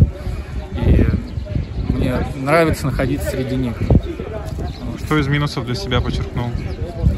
Из минусов э, пока сложно сказать о каких-то минусах, потому что я пребываю в такой эйфории только что прибывшего человека. Вот, и э, пока еще, пока еще не понимаю, пока еще ни с чем явным не столкнулся из того, чтобы мог отнести к минусам. Ну, может быть, где-то грязновато для людей, привыкших там к вылизанной там Европе, да, то есть, может, где-то что-то недоделано, да, то есть, как-то именно вот визуально. Но что касается там взаимоотношений с государством, еще, еще у меня нету релевантного опыта, еще впереди мое, как бы, ну, моя легализация здесь, поэтому пока вот обратной связи на, те, на эту тему нет, есть только вот то, что я вижу вокруг себя, да, то есть, и улучшения есть, но может быть для людей, привыкших там, я не знаю, там, к Хельсинки, Праге, там, или каким-нибудь таким городам, здесь будет немножко, может быть, не так красиво, но это, опять же, на вкус и цвет. Окей. Okay. Что скажешь насчет того, что надолго ты планируешь, надолго ты покинул Россию, планируешь ли возвращаться? А, я думаю, что я покинул Россию надолго. Я возвращаться пока что не планирую. Конечно, все это может измениться, потому что что-то здесь может пойти не так, да, то есть у меня еще впереди не настолько ясные здесь как бы перспективы, да, то есть есть определенные как черные лебеди, которые могут возникнуть, вот, но в общем и целом мне бы хотелось в Россию не возвращаться, я так скажу. Хотелось прям даже? Ну, наверное, да, вот, вот в текущую Россию, в таком ее виде я бы не возвращался. Сколько лет? Пять? Десять? Этого мы не знаем. Этого мы не знаем. Этого никто, к сожалению, не знает. То есть, ну, большой путь нужно проделать этой стране, чтобы она снова стала для меня привлекательной. А, расскажи свое примерное будущее. Ты его планируешь, типа, надолго пока в Сербии? Типа год, там, два? А, здесь обустраиваться? Да, да, я планирую конкретно оставаться здесь, растить здесь детей, скорее всего, да, опять же, если по пути не возникнет чего-то, о чем я сейчас не знаю и что мне помешает это сделать. Получать гражданство, учить язык? Yes, да, все так, все так. Учить язык это первым делом, да, то есть э, как только я закончу свои дела с ВНЖ, я приступлю к этому сразу. Э, ребята, если вы думаете, переезжать или нет, переезжайте и ничего не бойтесь. Я понимаю, это могут не все, я понимаю, все находятся в разной ситуации, но если у вас есть для этого ресурс, используйте его, вы не пожалеете. А, и Сербия это как раз отличный вариант, он может быть менее популярный, чем вот, там, Грузия или Армения, может быть он чуть более сложный, но это однозначно того стоит, потому что географическое положение, климат, какое-то развитие в этой стране дадут вам комфорт проживания и главное спокойствие, и главное безопасность. Это тоже очень важно, что здесь, когда я приехал, я ощутил себя в безопасности, потому что э, всего этого здесь нет что есть у нас, к сожалению. Те, кто не уезжают, они находятся сейчас под каким-то очень большим давлением, вот, большим, чем э, даже те, кто уезжают, вот, потому что оставаться сложно, оставаться страшно, я это знаю, я не так давно приехал, и, ну, здесь э, пожелаю только одного, спокойствия и терпения, потому что это единственное, что сейчас нужно потому что по большому счету сделать что-то явно нельзя. То есть берегите себя. Вот такое пожелание. Привет, мы из России. Выбрали Сербию, потому что это промежуточная локация в нашей дальнейшей релокации. Ну да, мне работодатель просто предоставил возможность релацироваться в Европу. Вот. А Сербия это просто как промежуточная локация. Просто нам поставили условия, там, дедлайн до определенного числа покинуть страну Россию. Ну, пока не, не развернулись еще более серьезные санкции и все вот это вот. Поэтому, да, мы уехали, собрались и сейчас ждем, пока оформят мне рабочую визу.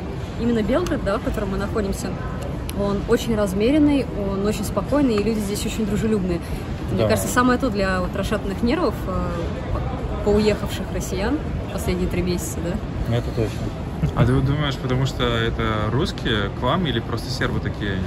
Мне кажется, просто сербы такие. Ну, Да, но по мне не скажешь, что я из России, Да. поэтому... Да, они не спрашивают, откуда мы. Да, ну, то есть э, им э, не важно идентифицировать э, нашу родину, чтобы, допустим, нам помочь чем-то, не знаю, там приятно пообщаться и такое прочее. Так, плюсы это что, дружелюбные люди, что-нибудь еще заметили, там, еда, жилье, может быть? Еда, да. Соотношение цена-качество, еда достаточно дешевая и очень вкусная. По сравнению с тем же Петербургом. Это абсолютно две Но разные я бы сказала так, э, если сюда ехать вот как туристу с э, определенным пониманием э, соотношения вот ценников, да, и вот этих вот валют там динары к рублю, здесь там в два раза дешевле практически везде, да, что Да. мы заметили. Но как мы пообщались тоже с местными, если здесь именно работать, получать ВНЖ, то уже приходится, наверное, в чем-то зажиматься. Погода, жарко, не нравится. Не нравится? Не нравится, это минус, да. Окей. Что-нибудь, может, еще? Вот э, с жильем говорят, что оно дорогое здесь. Правда, неправда? Э, ну, на самом деле, да, мы сняли Airbnb, получается, на два месяца, но нам оплатила компания это. Но и в целом это дорого. В целом это дорого, да. Да, цены очень скакнули, и местные тоже говорят, что из-за того, что очень много мигрантов, как бы рабочих и на ВНЖ, которые остаются, цены здесь на услуги, на проживание, даже если это не говорить про Airbnb, оно все подскочило. Ну, то есть э, в этом есть, конечно, элемент недовольства э, местных жителей, но не в сторону именно тех, кто приехал сюда, а в сторону просто а, может быть, там, чиновников, да, или, в общем, тех э, сервисов, да, которые допускают просто вот этот рост цен и никак не контролируются, потому что местные тоже страдают. Но И- возвращаться на самом деле в планах таких у нас нет, потому что не уверен, что в этой стране для нас возможно будущее как таковое.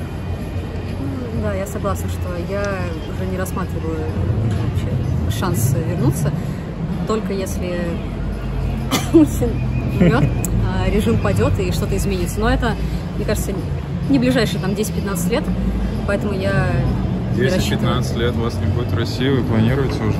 Ну да. Ого, расскажите про свое ближайшее тогда будущее, что вы планируете, куда, где, надолго, где обосноваться? А, В Испании там работать, э, получать ВНЖ. Насчет того, получать ли там гражданство, пока не знаем, посмотрим, потому что никогда не стремились жить. э, Гражданство в Испании получать я не хочу. Да. В какой-нибудь другой январе стране. плюс 10 градусов, и это очень жарко. Все-таки более северные люди такие. Ну да, мы планируем обосноваться в Европе, на долгое время получить гражданство. Все услуги для людей. Но не испанское. Не испанское. А почему? Э, Во-первых, климат. Там жарко, и мне не нравится. Нам не нравится. Ну Жаркие да, страны. плюс 10 в январе это как-то тумач для меня. Почему-то мне кажется, что вы это не обсуждали, что кто-то не хочет в Испанию. Как будто бы А, это ну не мы это обсуждали. конечно, обсуждали. да. У нас, у нас это железно, что в Испании мы оставаться долго не будем. Ну да, да. Да. Есть все-таки пункт, что там полтора-два года как-то ассимилироваться, получить все необходимые документы, вот, а дальше уже посмотреть в сторону там, более северной Европы. Все так. Все так. Если вы надумали переезжать, то переезжайте, держать, дерзайте. Такая возможность выпадает не часто. И, возможно, в скором будущем ее как раз таки и не будет. Я бы сказала, что если у вас есть возможность, то, в общем, делайте этот прыжок веры. Это страшно, это некомфортно, особенно если вы там коренные жители своей страны, да, своего города, но это того стоит. Если у вас нет возможности такой, у меня очень много таких людей, которые остались там, мне пришлось их оставить, да, мой самый близкий круг э, людей, общения. Держитесь, мы за вас, вот. И на самом деле хочу, возможно, предупредить, что вот основной стресс по поводу переезда будет именно в России. Когда вы приедете уже на точку, возможно, промежуточно, этот стресс спадет, вот его как рукой снимет. У нас в этом случае было так. Да, согласна. Последние месяцы перед переездом были самые тяжелые, когда перелеты э, отменяли, переносили, постоянно какая-то непонятка с документами. Стоило приехать сюда, понять, что все, мы заселились, мы уже начинаем там процесс сбора документов для дальнейшей релокации. Вот 50% напряжения просто ушло по щелчку. Это дорого Абсолютно. стоит. Да, это так. Как реагировали ваши близкие, знакомые, семья ваша, что вы уезжаете, и как минимум походу на 10-15 лет? Ну, в моем конкретном случае я всегда знал, даже по окончанию школы, что я в России не останусь. что я уеду в Европу, куда-нибудь в другие страны. Ну и своих родителей и родственников я всегда к этому готов, что типа вы меня здесь в скором времени не увидите. И внуков точно здесь не увидите, в России. Но у меня немножко другая ситуация. А, я, я очень тяжело пережила и, наверное, до сих пор переживаю а, сам факт того, что я многое оставила в России, да, в Петербурге, потому что э, на что-то я положила очень много своих личных сил, времени, здоровья в каком-то, в каком-то случае, да, финансов. Вот. Мне было очень больно все это оставлять. Э, и в какой-то момент мне показалось, что вот пока я ждала всех этих документов, э, подтверждения рейсов, мне казалось, что жизнь идет как-то вот мимо меня, а я всех этих процессов. А касательно того, как отреагировали, э, кто-то счастлив за меня, э, более близкий круг э, моих там, родственников, допустим, да, родители, они, конечно, очень грустят, думают, что лелеют надежду, что я все-таки вернусь. Вот, но пока я не могу им этого предоставить. Ну, ты им говорила, да, что ты вообще не собираешься? Они не верят просто. Они надеются, что я все-таки вернусь, что я как-то одумаюсь, либо когда закончится, например, война да, в России, что станет лучше, и мы все-таки вернемся. Но,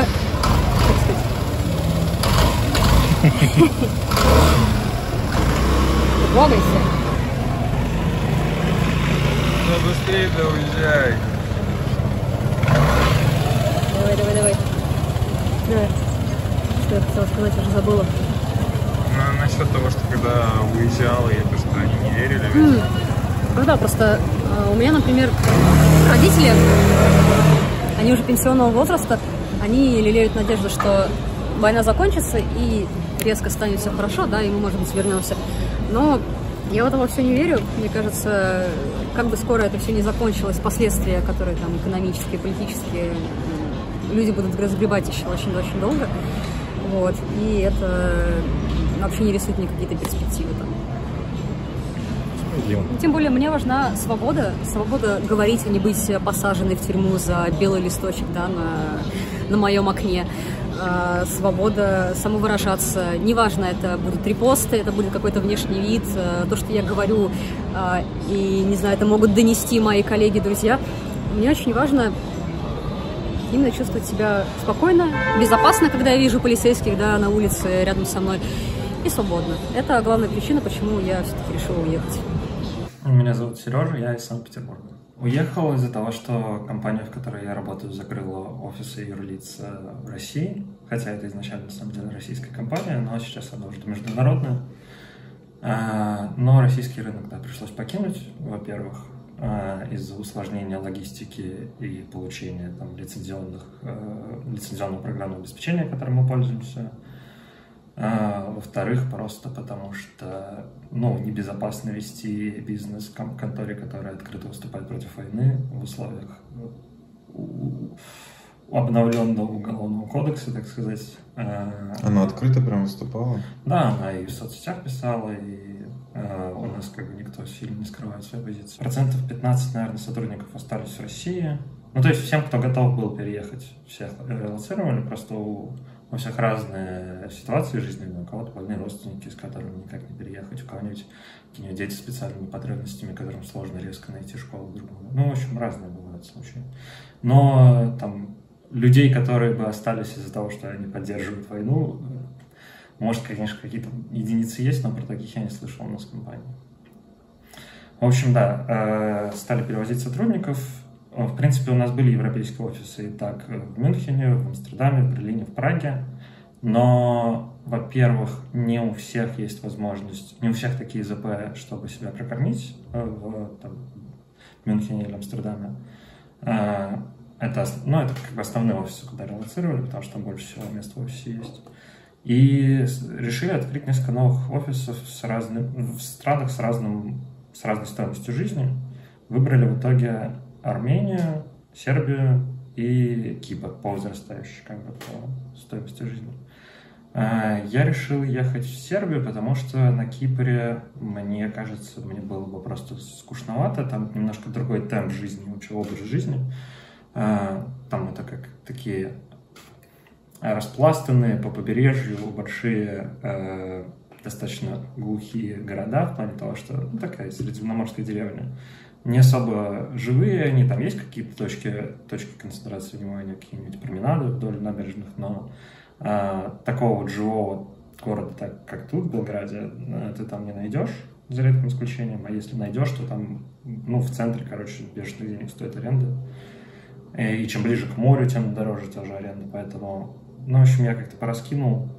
Еще климат там, климат я, правда, не ожидал, что здесь такой жаркий будет, но в любом случае туда не хотелось ехать из-за слишком жаркого климата, а осенью и зимой там вообще, говорят, отвратительно, потому что промозгло с моря. В общем, выбрал э, Белград, э, потому что, ну, здесь, по сути, ты выходишь из дома, все, ты в Европе.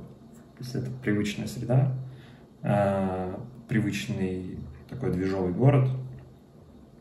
Э, соответственно, уехать решил, потому что, во-первых, было стрёмно терять работу в такой, в такой период, потому что вообще очень много работодателей э, в IT из России ушли, и, соответственно, можно было просто не найти, грубо, грубо говоря, сходу э, подходящую работу, потому что много, много кто там уволился из-за того, что компании ушли, и, соответственно, конкуренция резко на рынке за места оставшиеся возросла.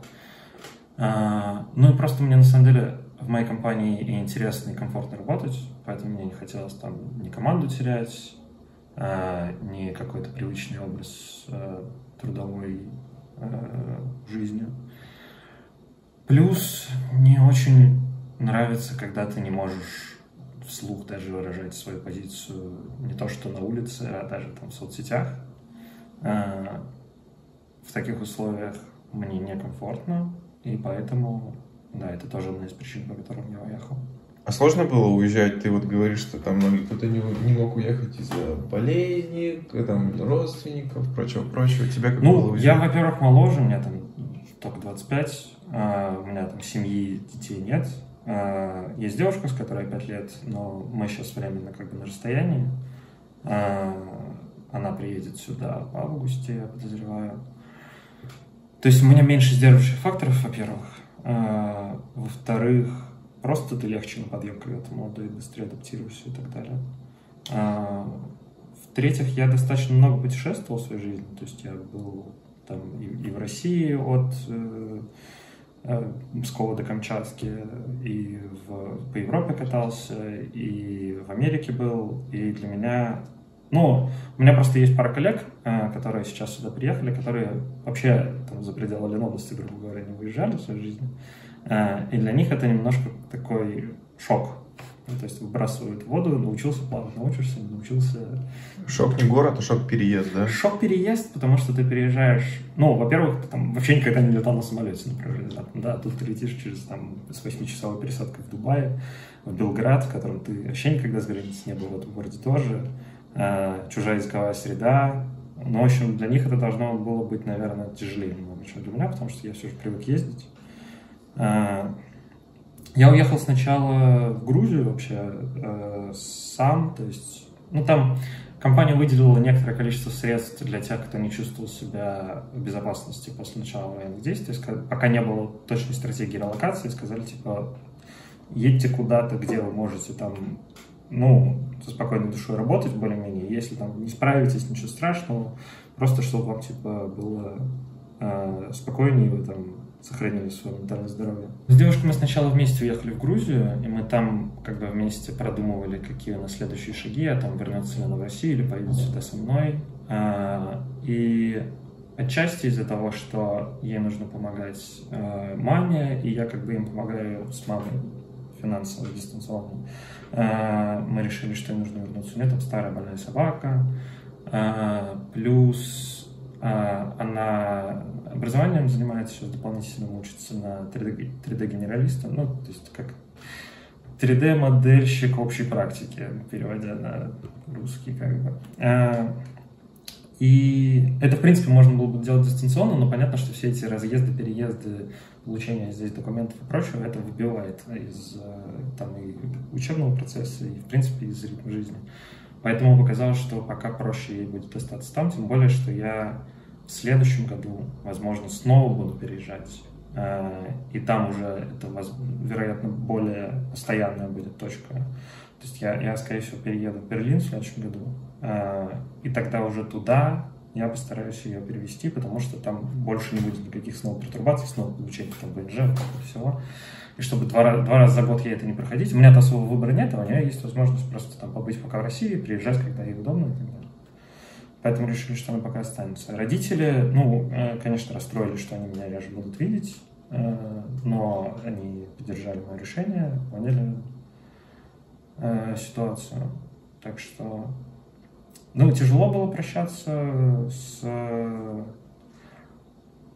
с друзьями, но часть из них и так, в принципе, разъехалась. Тяжело было прощаться с группой, потому что я играю в музыкальной группе, и дистанционно, конечно, ваши возможности весьма ограничены, потому что ни живых концертов не дать, э, ни вместе не порепетировать. Понятно, что все равно композиции вместе заниматься дистанционно возможно. Мы будем стараться даже в этом году, возможно, еще что-то выпустим. Но это сильно меняет и формат, и насыщенность, конечно, такого творческого взаимодействия. Э, поэтому я очень скучаю. Конечно, много русских сейчас здесь, э, в Сербии, поэтому нету полного отрыва от э, привычной социализации. Я как бы с иностранцами здесь хожу на какие-нибудь language кафе, там, English Hub и прочее, общаюсь. Но все равно там родную речь, э, родную, родной культурный бэкграунд, э, все это в общении как бы очень большую роль составляет. И не могу сказать, что это потерялось здесь, потому что здесь уже много русских приехало. Э, по городу скучаю, да, по Питеру. Э, по привычному какому-то укладу жизни. То есть, может быть, это некоторый конформизм во мне такой, типа, в своем болоте тепло, уютно и хорошо, но э, когда у тебя на бытовые вопросы не уходит дополнительных каких-то моральных сил, потому что все уже вставлено на рельсы, у тебя больше остается сил на то, чтобы заниматься чем-то другим. И поскольку у меня было интересно, у меня была там и работа, и группа, и друзья, и Э, ну, важно было для того, чтобы все в жизни было устроено так, чтобы у тебя максимальное количество сил времени осталось. Наверное. А сейчас все еще немножко бардак. То есть, ну вот, слава богу, документы на ВНЖ ушли. Может быть, в июле наконец получу. Сейчас я вообще не трудоустроен, получается, потому что нам юрлицы нужно было компании закрыть э, в начале июля. Ну, по крайней мере, подать на ликвидацию. Э, а здесь задержалось оформление сотрудников, и поэтому получился промежуток между тем, что я в России уволился, а здесь до тех пор, пока я разрешение на работу не получу, я сотрудником не считаюсь. Поэтому я сейчас как бы в свободном полете. Мне здесь не нравятся запаркованные тротуары, это просто, конечно, мне особенно на районе здесь это полный бардак, выглядит отвратительно, постоянно приходится под автобус бросаться, чтобы пройти по тротуару. А, мне здесь не нравится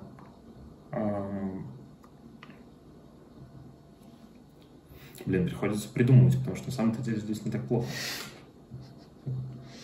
Давай а, плавник. Нет, мне здесь, мне здесь после Грузии э, чуть меньше нравится кухня. То есть плескавица, конечно, шишчевап, все нормально. Но так просто не после... подготовленным блюдом, а. что это? Плескавица это местная э, национальная котлета, такая большая, плоская, разных размеров бывает. И ее в Пите с овощами собирают в такой, как будто бы ну, как большой гамбургер, но он немножко другого формата. Это основной, наверное, национальный фастфуд тут. А, не, это вкусно, вообще никаких проблем. Просто на контрасте после Тбилиси, где у тебя вообще просто гастрономический рай, а, немножко скудно казалось. Но это, опять же, я придираюсь, то есть никаких серьезных тут нет проблем. В любом случае есть и хорошие рестораны, там доставки работают, что, что хочешь. Что мне здесь еще? А, после Тбилиси еще тоже забавно. А, там а, ты внешне отличаешься от местных, там и по акценту, даже если начинаешь говорить на английском с ними, все равно, ну, и по там, цвету кожи и так далее. А, и тебя не путают с местным, тебя понимают, что ты приезжий.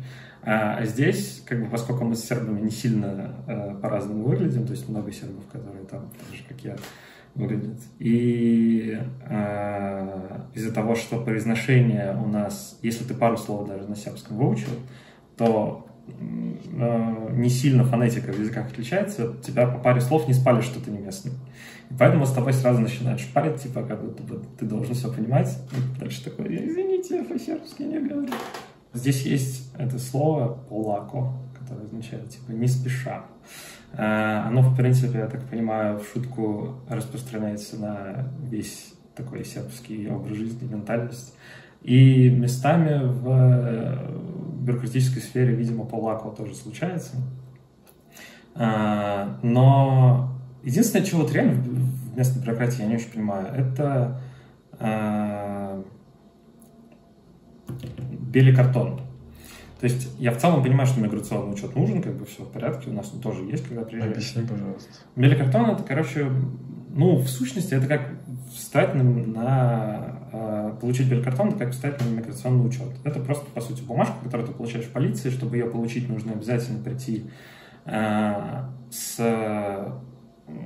гражданином Сербии, у которого ты как бы вписался, или у которого ты арендуешь квартиру, а, у него должны быть документы, подтверждающие, что то место, где ты живешь, это принадлежит ему. Там дальше он свой ID дает, ты свой паспорт, и тебе дают вот эту бумажку о том, что ты а, тогда-то приехал. Все бы хорошо, если бы не, а, во-первых, строгость присутствия непосредственно гражданина Сербии рядом с тобой, потому что много кто, особенно среди людей, которые арендуют квартиры, могут даже не жить здесь. Ну, то есть мне повезло, что мои там хосты в основном здесь, но у моих коллег были ситуации, когда они арендовали э, квартиру через посредника, сам э, владелец квартиры вообще сейчас не в стране, и чтобы получить белый картон, тебе нужно через тысячу обручев прыгнуть. Э, с ним ты просто не можешь в полицию прийти вот так лично.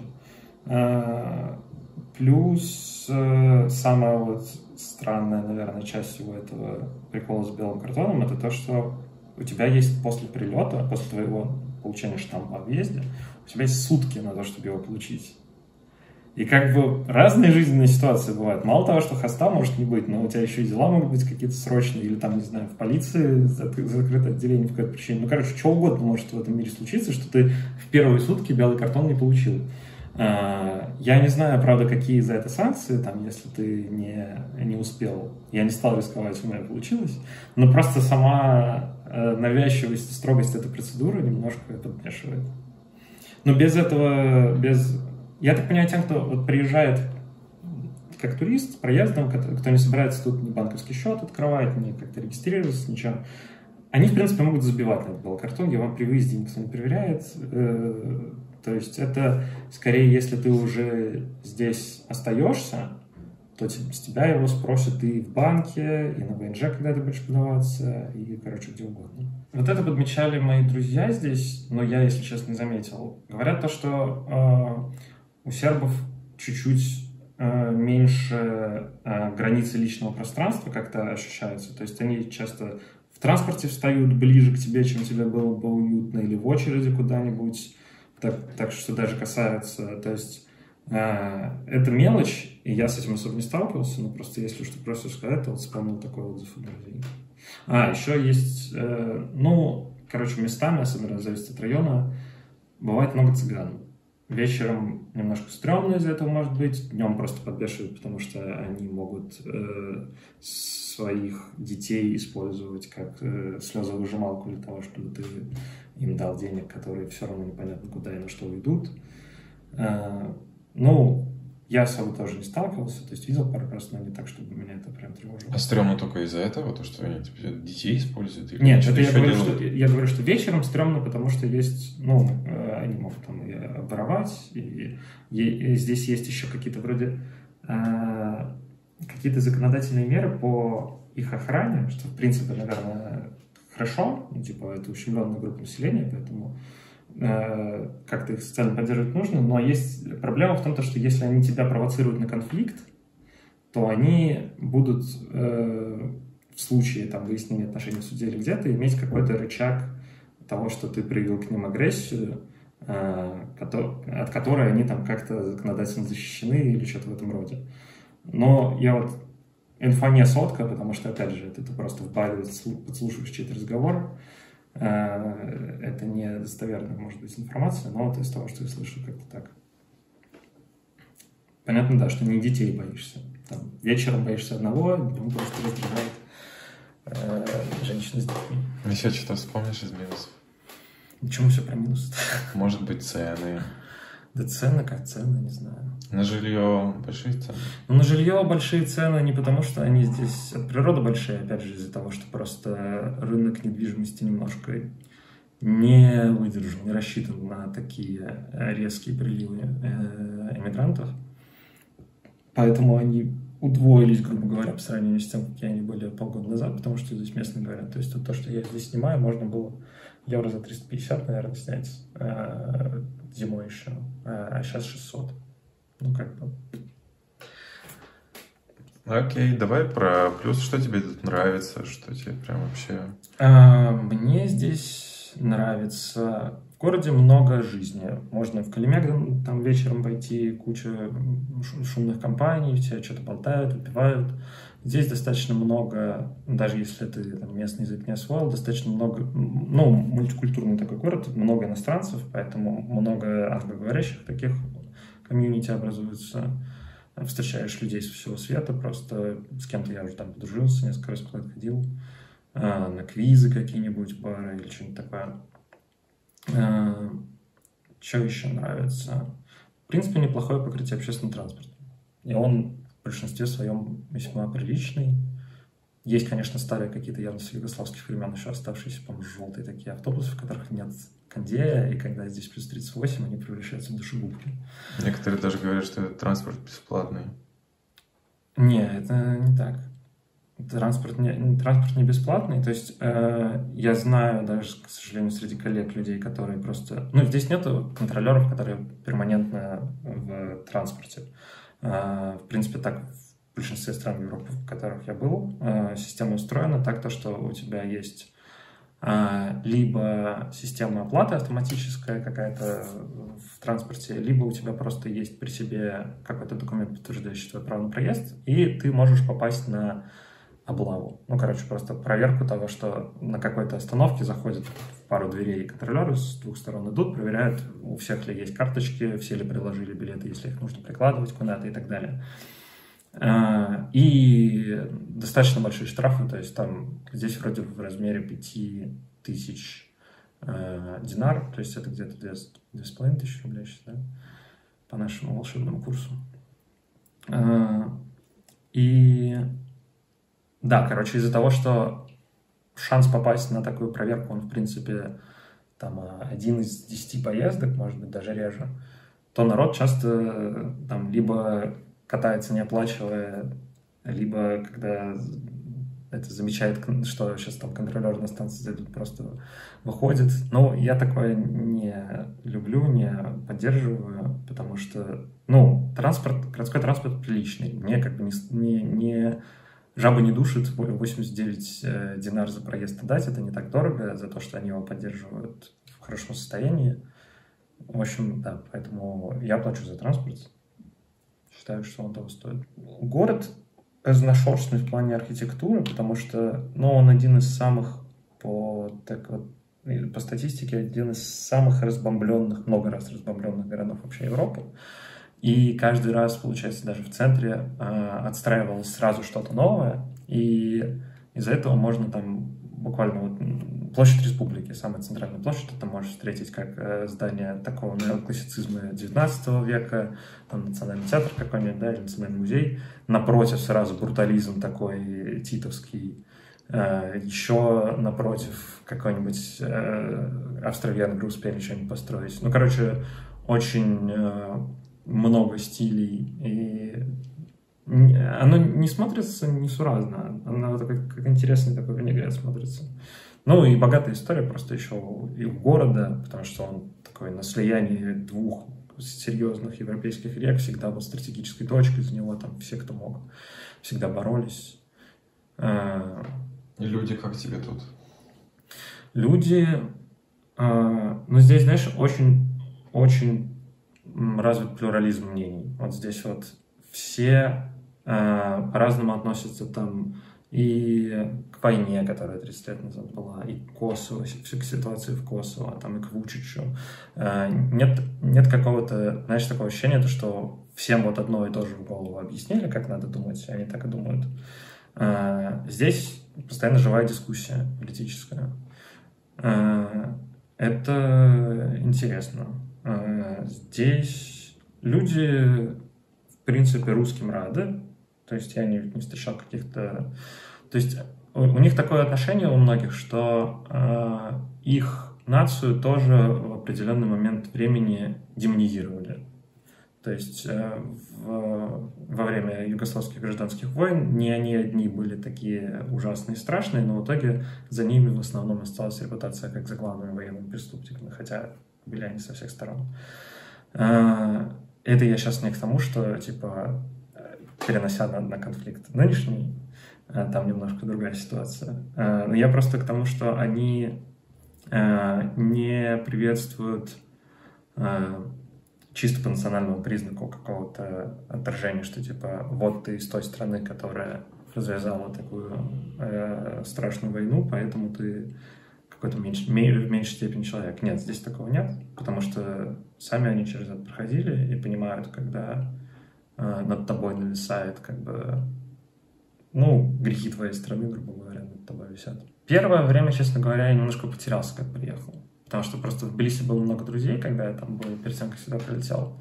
И сначала я что-то, кроме работы, не особо даже из дома выходил. Э, но потом потихоньку я стал с городом знакомиться, э, больше гулять, больше ходить на всякие встречи, там, языковые кафе, где можно поболтать. Там познакомился просто с интересными людьми, с которыми можно и отдельно куда-нибудь к ним в гости сходить. Ходил э, на, на пляж на днях, тоже тут можно покупаться в салях Дуная. Э, здесь на экскурсии, на экскурсию ходил на этой неделе просто по городу пешую какой-то такой постоянной деятельности себе помимо работы я здесь пока не нашел. Ну, то есть, либо спорта какого-нибудь, либо что-нибудь, может, музыкантов тут тоже каких-то найти. Но думаю, со временем найдется. А, чем еще тут можно заняться? Заметил, может, какую-то сербскую именно особенность, что они, может, любят отдыхать или выпивать?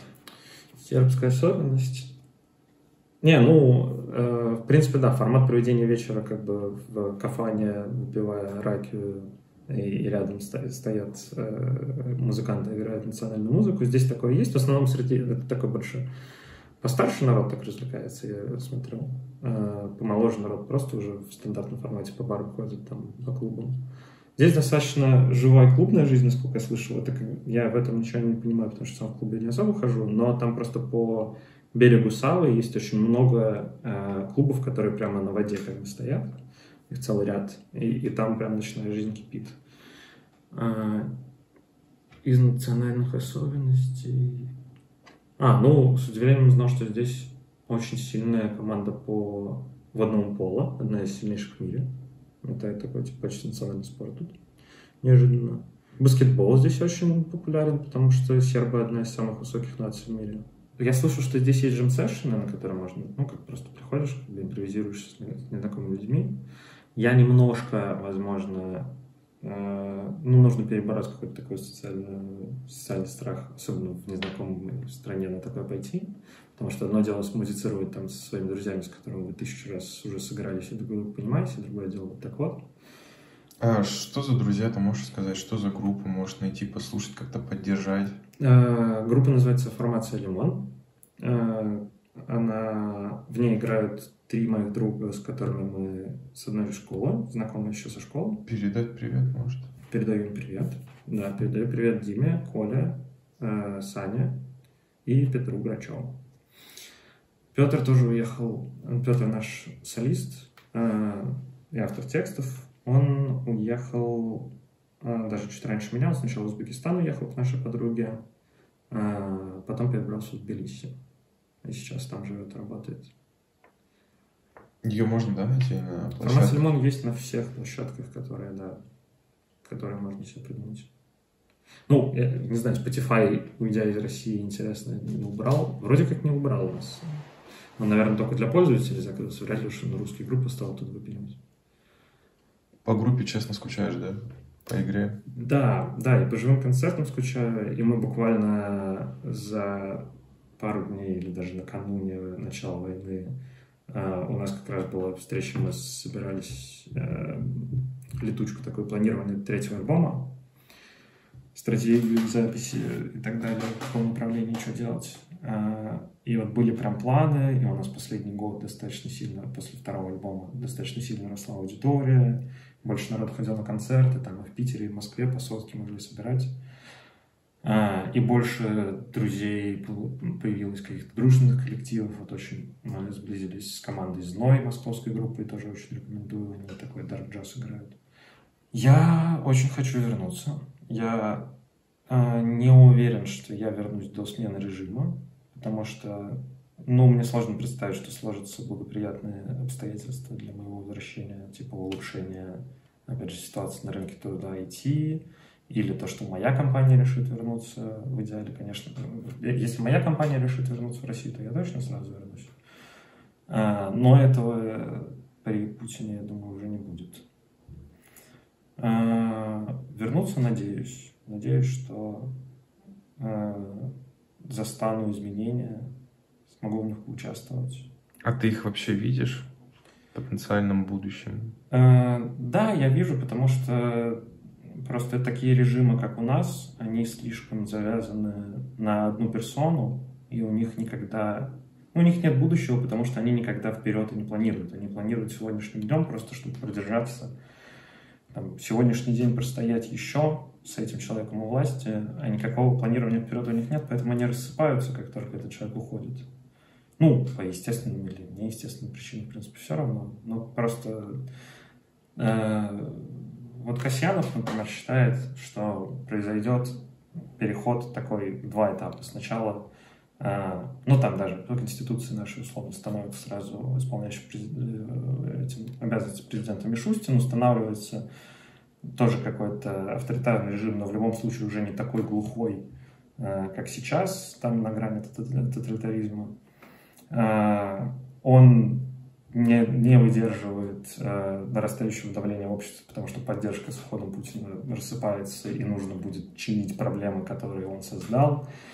И в итоге дальше, ну, как типа во время перестройки внезапно снова появляется там свобода слова и плюрализм мнений, и на этой волне просто все это сметает, и начинается очередная попытка демократии. Да как, по твоему мнению, то он идет? У тебя нет ощущения, что, в принципе, большинство поддерживают? Не, ну у меня нет ощущения, что большинство поддерживает, потому что, во-первых, мы всегда слышим э, громкие меньшинства, то есть там, ре, ребята, которые прям реально топят за Z, это, это не большинство. А большинство всегда, в принципе, не уверен даже, что только в России, я думаю, в принципе, так, большинство э, конформисты, э, которым проще встать на выигрывающую сторону, грубо говоря. То есть если э, тебе самому не очень интересно разбираться, то скорее ты встанешь на ту сторону, за которую твоих друзей не сажают в СИЗО. Э, ты встанешь на ту сторону, которая тебе по всем э, официальным, ну, там, вообще всем доступным, кроме загнанных в интернет э, источникам массовой информации, сообщает тебе о том, что все идет по плану, и завтра будет лучше, чем вчера. А, просто если ты как бы не готов проводить а, ментальную работу, потому что разбираться, что, собственно, на самом деле происходит, то всегда проще примкнуть к тому, что кажется победителем. Но это не люди с твердой позицией, и как только поменяется повестка, у них точно так же все в голове поменяется. То есть, как бы, Достаточно одного съезда КПСС для того, чтобы Сталин внезапно перестал быть отцом нации. Так же. Как ты думаешь, через сколько? Твои оценки? А, я думаю, что это все гадание на кофейной гуще, честно говоря. Но если чисто там какие-то собственные надежды и то, как я хотелось бы это видеть, то я с трудом верю, что Путин переживет электоральный цикл 2024 года. То есть это, это будет критическая нагрузка для системы, которую она в таком разбалившемся виде уже не принесет. Получается, 2-3 года тебя не будет в России. Ну да, я надеюсь, что как-то так, что года через три я уже смогу вернуться. Я оптимистично смотрю и надеюсь, то, что там Россия к моей пенсии и Россия сейчас это совершенно два разных государства. А, и поэтому я бы старался строить, да, и свою жизнь, и жизнь своих детей все же в России. А, но сейчас чуть сложнее, конечно, предсказывать о том, как быстро Россия выйдет из такой жопы. Даже со средним образованием, наверное, есть проблема в расслоении того, что вот есть пучок как бы реально э, серьезных школ, в которые сложно поступить, потому что там сложно вступительные экзамены, в которых, в которых там переводные каждый год, чтобы поддерживать всех в тонусе и следить за тем, что они не просто просиживают парты. Э, и эти школы там топовые по ЕГЭ, участвуют в олимпиадах как вузовских, так там и международных математических, вот это вот все. Но это небольшой такой кластер.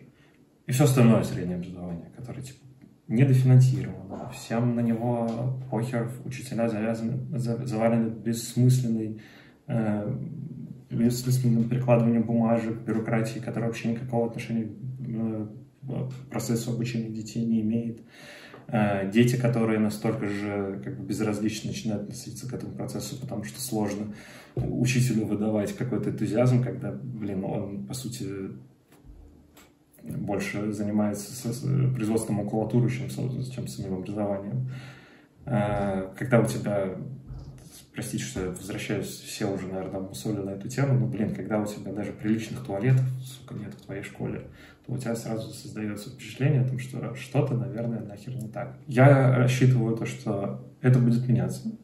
То есть, возможно, к тому моменту, когда мои дети в школу пойдут, уже хоть что-то будет лучше. А, во-вторых, я знаю, что есть места, на которые я рассчитываю, что я смогу своих детей, грубо говоря, отправить, в которых ситуация не такая удручающая. А, но это зависит, конечно, от их способностей, потому что туда, как бы, чтобы поступить, нужно немножко помучиться. В целом, я для своих детей как бы видел бы дорогу в Россию.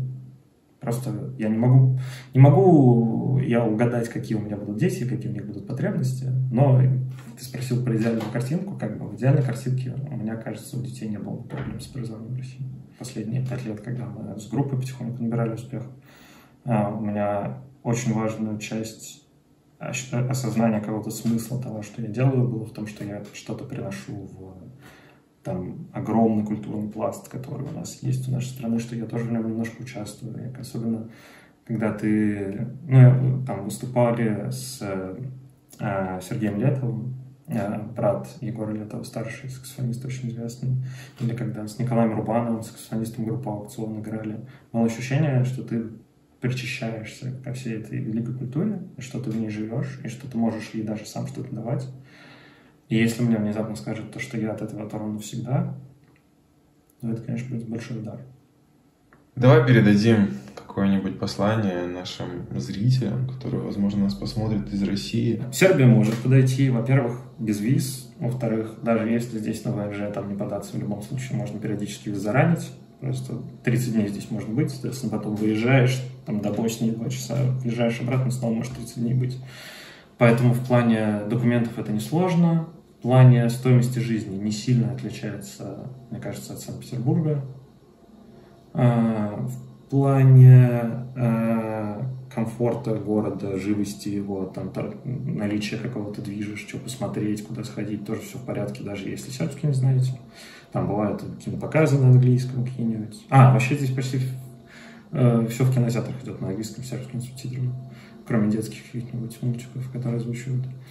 Э, что еще пожелаю? Не отчаиваться, э, даже если э, вы уедете, все равно Россию можно таскать с собой вот здесь и верить, что в нее можно будет вернуться не в том виде, в котором она сейчас.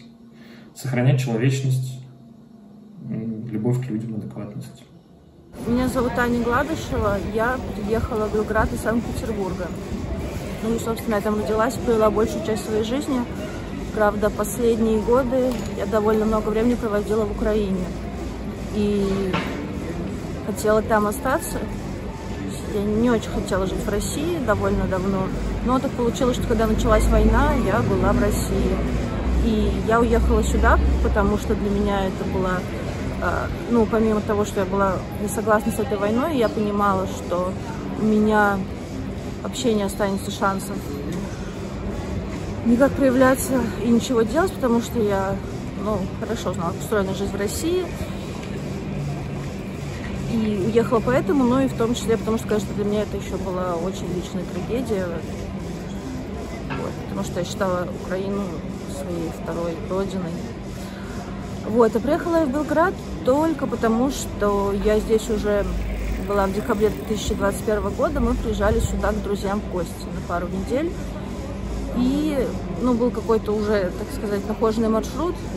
И нам было где остановиться первое время, потому что мы понимали, что у нас свалится много проблем. И поэтому мы 24 февраля проснулись, прочитали новости и купили билеты. Из родственников я в последнее время общалась только с мамой и сестрой. У меня родители развелись, и с папой усложнились отношения. Вот, поэтому меня даже не особо интересовало его мнение на этот счет. Конечно, да, они меня поддержали, как могли. И было грустно. И было грустно очень, когда мы собирали вещи, потому что мы сдавали квартиру, и мы понимали, что, возможно, мы туда не вернемся, и нам нужно по максимуму освободить, ну и какие-то ценные вещи спрятать. И вот это было очень грустно, то есть это было реально похоже на то, что мы уезжаем в миграцию навсегда, там, с одним чемоданом, с наволочкой, с мылом. И, ну да, что, что вот оказалось, что на самом я понимаю, что мы на самом деле так хорошо жили, что у нас столько всего был, много было, то есть у нас какой-то огромный шкаф с книгами, э, огромное количество блокнотов, рисунков, то есть какой-то личный архив, который мы не можем взять с собой, и в это вложено кучу смыслов и куча историй, и все это остается. Ну, да, и каждый день были какие-то новости, одна другой страшнее, и закрывали страны неба, то есть мы все время сидели и следили, не закроют ли наш рейс. Наш рейс закрыли за день до нашего отлета, и нам пришлось покупать другие билеты, которые сильно повысились в цене, но, в общем, там с помощью родственников нам удалось купить эти билеты. Вот, то есть, как бы мы все время ждали, что что-то может произойти, и это было очень страшно, и я очень мало спала, потому что нужно было делать очень много действий, там какие-то доверенности писать, когда еще нужно было сдавать ПЦР-тесты, считать, чтобы это совпало по датам. Поэтому, да, я была немножко как зомби. И когда я села в аэропорт, в аэропорту в самолет, летели через Турцию, нас еще мы летели втроем, но меня посадили отдельно почему-то. Вот, и я плакала всю дорогу до Стамбула почти. Да, и вот тогда я прям почувствовала, что у меня больше нет дома. Плюсы по, наш, по сравнению с Россией, наверное, они многим очевидны. Это то, что мы можем высказываться, ходить на митинги и чувствовать себя в относительной безопасности. Хотя на самом деле это тоже иллюзия, потому что те полицейские, которые охраняют женщин в черном, о котором мы сейчас говорили, и нас, они на самом деле, скорее всего, нас не поддерживают. Женщины в черном прекрасно знают, что они их ненавидят, и если... Что за женщины в черном, объясни? Женщины в черном – это такая организация феминистская, она существует здесь с начала 90-х. Они регулярно собираются на всякие молчаливые акции, они выходят в черном и просто стоят с плакатами около получаса, а потом уходят. И вот вчера было одно из главных их событий в их деятельности, э, событий в году. Короче, одно из главных событий в году, которое вот у них происходит, это акция в память Сребреницы. И они к ней готовились долго, потому что ожидали провокаторов. В прошлом году, по, вот по их рассказам, было 50 фашистов, которые пришли за час, по-моему, собрались на площади, как-то агрессивно себя вели. Вчера все прошло довольно спокойно. Ну так вот, этих женщин охраняют полицейские, но они говорят, что если там как-то изменятся указы наверху, и кто-то даст команду, то они перестанут их охранять, и, может быть, даже начнут их атаковать, поэтому это тоже такая относительная иллюзия вот, но, конечно, по сравнению с Россией последних нескольких лет мы ходили на митинги, и нам регулярно приходилось убегать от полицейских. То есть это, конечно, гораздо спокойнее. Вот, мне в целом нравится Сербия, хотя поначалу, когда я приехала, я никак не могла успокоиться, и думаю, что это чувствовали многие, потому что мне казалось, что неправильно выбрала страну. Ну, то есть такое происходит, и мою любимую страну бомбят, я как бы сижу в стране, которая поддерживает Россию, и это такая очень странная позиция. Ну, потом со временем... То есть мне казалось, что нужно срочно ехать в Украину и помогать, или поехать в Молдову, потому что она на границе с Одессой, и, и там тоже можно помогать. Многие одесситы едут туда. Но чтобы куда-то поехать, нужны были деньги. Денег, естественно, у нас не было. Вот, а потом, когда я здесь подольше пожила, я поняла, что, наверное, ну, это как-то неспроста, что судьба нас закинула именно сюда, в такое неоднозначное и сложное место. Однозначно в политическом смысле. И здесь очень много русских. Многие из них уехали, потому что они действительно не поддерживают войну, но и эти многие, те, кто говорят, что они не поддерживают войну, они говорят это только на словах, но на самом деле они ничего не делают многие из них уехали, имея какие-то средства к существованию, и они продолжают здесь жить, пытаются как-то наладить свои жизни и ждут, когда в России все вдруг удивительным образом станет хорошо, и они туда вернутся в свои квартиры, где им все-таки удобнее, чем здесь. Вот. И да, то есть они могут что-то говорить, но они, по сути, ничего не делают. Я говорю это, ну, потому что, во-первых, я общалась с какими-то людьми, я читаю какие-то паблики, читаю комментарии, смотрю, как думают люди, и я работала уборщицей, когда приехала сюда, я ходила убираться в разные семьи, довольно неплохие, но я видела, как они живут, я видела, какие у них приоритеты, вот, и понимала, что, ну, вот, как бы, отчасти эти люди в том числе виноваты. Ну, мы все виноваты, и у каждого какой-то свой личный вклад в эту коллективную вину, но вот они виноваты тем, что они закрывали глаза на происходящее, и, ну, конечно же, большинство из них жили в Москве, и вот они думали, что ну, вот самое главное стремиться к, какому-то индивидуальному комфорту, даже если они работали на каких-то сложных культурных работах. И сейчас вот они продолжают также жить здесь, и мне кажется, что нужно работать в том числе с этой частью общества. Каким-то парадоксальным образом я чувствую здесь э, то есть мне кажется, что я могу здесь почувствовать такую свободу, которую бы я может быть, не почувствовала бы сейчас в европейской стране. Возможно, мое мнение не очень популярное, но Сербия, как многие замечают, напоминает Россию там, середины 2000-х э, по какой-то обстановке. И, но ну, это всегда очень тревожный знак, и это показатель того, что надвигается очень большой кризис, если что-то принципиально не изменится. Пока я не вижу причин тому, чтобы это изменилось. Но при этом это дает какое-то такое ощущение, как будто ты на детском, ну не знаю, как будто бы ты подросток, и скоро приедут родители, у тебя вечеринка, и ты допиваешь последние пиво и докуриваешь последние сигареты. И вот какое-то такое странное, угарное ощущение странной свободы, которое проявляется, например, в том, что здесь все курят, не знаю, во всех ларьках продается алкоголь, и люди в основном сосредоточены ну, каких-то таких гедонистических интересах, почему-то вот дает какое-то ощущение легкости и того, что ну, какой-то свободы и легкости в принятии решений. Ну и из-за того, что еще очень жарко, а, нет возможности как-то сильно думать, и поэтому получается действовать быстрее. Мне нравится. Да, еще мне нравится то, что это столица, я никогда не жила в столице. И это тоже очень интересный опыт, почувствовать этот ритм. Хотя, конечно, Белград меньше, чем Петербург, но все равно это столица, и это очень чувствуется. Меня очень устраивает то, как настроено сербское общество в целом. Оно, то есть даже не то, что они говорят, что Путин молодец,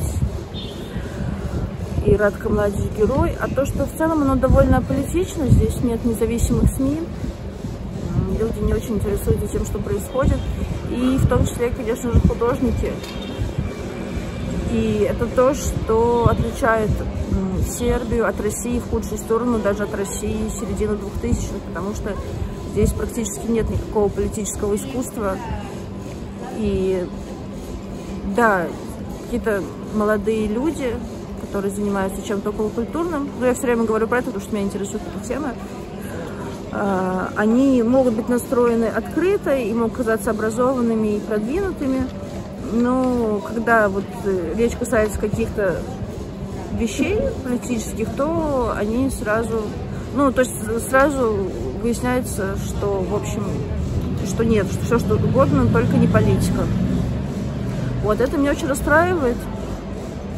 И, то есть, когда э, такую позицию проявляют какие-то люди более старшего поколения, у которых есть травма, это легче понять и принять молодые люди, у которых есть интернет и доступ к информации, и они этим не пользуются. То есть это вообще очень странно. Весь мир э, переживает из-за войны с Украиной, а сербы продолжают жить так, как ни в чем не бывало.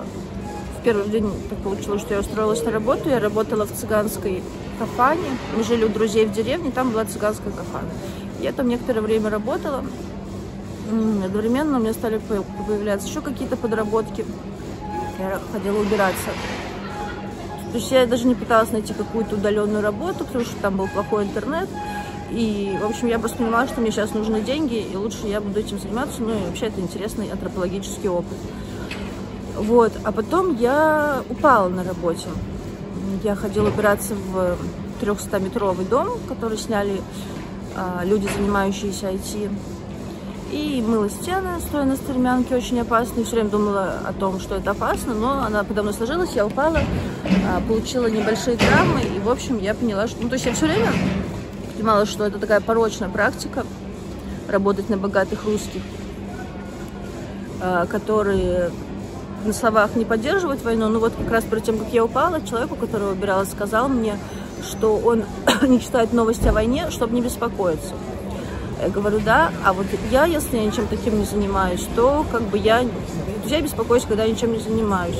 И я как-то, ну то есть там было очень много таких моментов с разными людьми, которые меня злили, но это было какой-то последней каплей. И я подумала, что вот мы ходим на митинги, мы собираемся, мы все равно чем-то рискуем, они хотят вернуться в Россию будущего, но они хотят, чтобы как бы эта Россия будущего получилась их руками, нашими руками, а они просто будут отсиживаться и зарабатывать деньги, нанимать людей, им платить копейки, а потом они будут калечиться. Вот, я решила, что все, я больше этим не буду заниматься. Ну, то есть у меня уже были какие-то планы, но я решила им отдаться полностью. Сейчас я с друзьями занимаемся тем, что мы готовимся к фестивалю антивоенного искусства. Вот, да, и параллельно, э, ну вот вечер песен политзаключенных это мероприятие, которое мы организовали втроем, а гастрономический понедельник, где готовили украинскую еду, там это было совместно с антивоенным сообществом «Заедно против рата». Вот, и у меня есть планы э, устраивать всякие культурные мероприятия, показывать украинские фильмы, читать всякие лекции, там какие-то концерты, поэтические чтения. Мне хочется, хотя это очень сложный вопрос, сейчас я как раз общаюсь с украинскими художниками, и есть разные позиции по этому поводу. Имеют ли право рус... люди с российским паспортом а, использовать сейчас даже в хороших целях украинское искусство? Большинство людей ну, относятся к этому положительно и считают, что да, конечно, но есть люди с радикальной позицией, которые считают, что украинское искусство должны представлять только украинские деятели, и что нам нужно самим осмыслять свою вину и свою травму. Вот, но я все равно хочу этим заниматься, я хочу показывать украинские фильмы и рассказывать об украинской литературе, украинских художниках. И этим самым, я не знаю, что из этого получится, потому что, например, одно модное пространство нам отказало в показе украинских фильмов, правда, другое согласилось. Не хочет этим... То есть, конечно, это все будет на русском или английском, потому что мы пока не знаем сербского. Да, мне хочется привлекать вот этих вот людей, у которых есть деньги, которым хочется как-то культурно проводить время.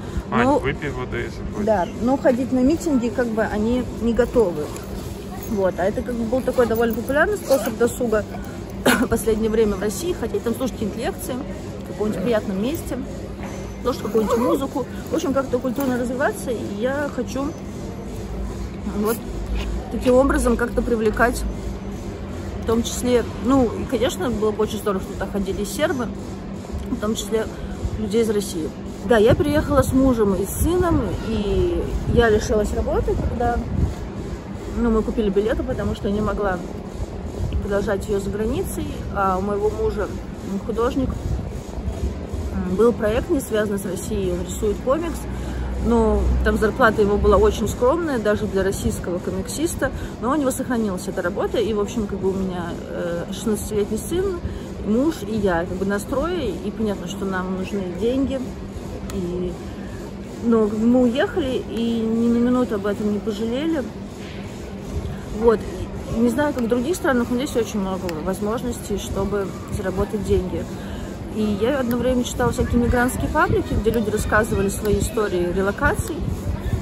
И мне было это очень сложно читать, потому что большинство людей, которые уехали, они ну, имели какие-то средства. То есть они могут сказать, что они вообще не богатые, но по сравнению с тем, как жили мы, они мне казались довольно богатыми. И я понимала, что это очень большая привилегия уехать. Но потом я через этот паблик нашла одну девушку, мне очень понравилась ее история, потому что они уехали с парнем, у них было 100, 100 долларов. И я ее нашла, она тоже приехала сюда, и она сейчас даже моя соседка, мы подружились. И потом уже я стала встречать таких людей, которые уехали без всего в никуда. Потому что даже если у них сейчас есть работа в России, то ну, это, это как бы очень странно заниматься какими-то вещами, которые уже мертвые, потому что ну, это очень скоро все изменится, и все будет гораздо хуже. И поэтому лучше как бы приехать и испытать какой-то дискомфорт, но начать что-то строить, что имеет какие-то перспективы. Вот, и да, я советую ничего не бояться, тем более, что есть такое огромное количество возможностей. Я три раза обращалась к бесплатному психологу из Ковчега, и он мне очень сильно помог, меня просто появилась куча ресурсов. Вот, в каких-то странах есть какие-то места, где можно бесплатно пожить. Ну, куча, в общем, сейчас чатов взаимопомощи, и люди, которые переживают, что они оставят своих друзей, ну, конечно, это грустно, но, во-первых, есть интернет, или можно позвать друзей с собой, а кроме того, здесь ну, проблем с общением, по-моему, здесь ни у кого не возникает, потому что людей очень много, и можно найти любого человека по своим интересам и взглядам. Как бы это ни было сложно, все-таки стараться не отгораживаться от того, что происходит, не делать вид, что как бы их нормальная жизнь продолжается, а погружаться в страшную информационную повестку, в боль. Вот. И, ну, стараться жить так, чтобы все-таки их совесть была чиста.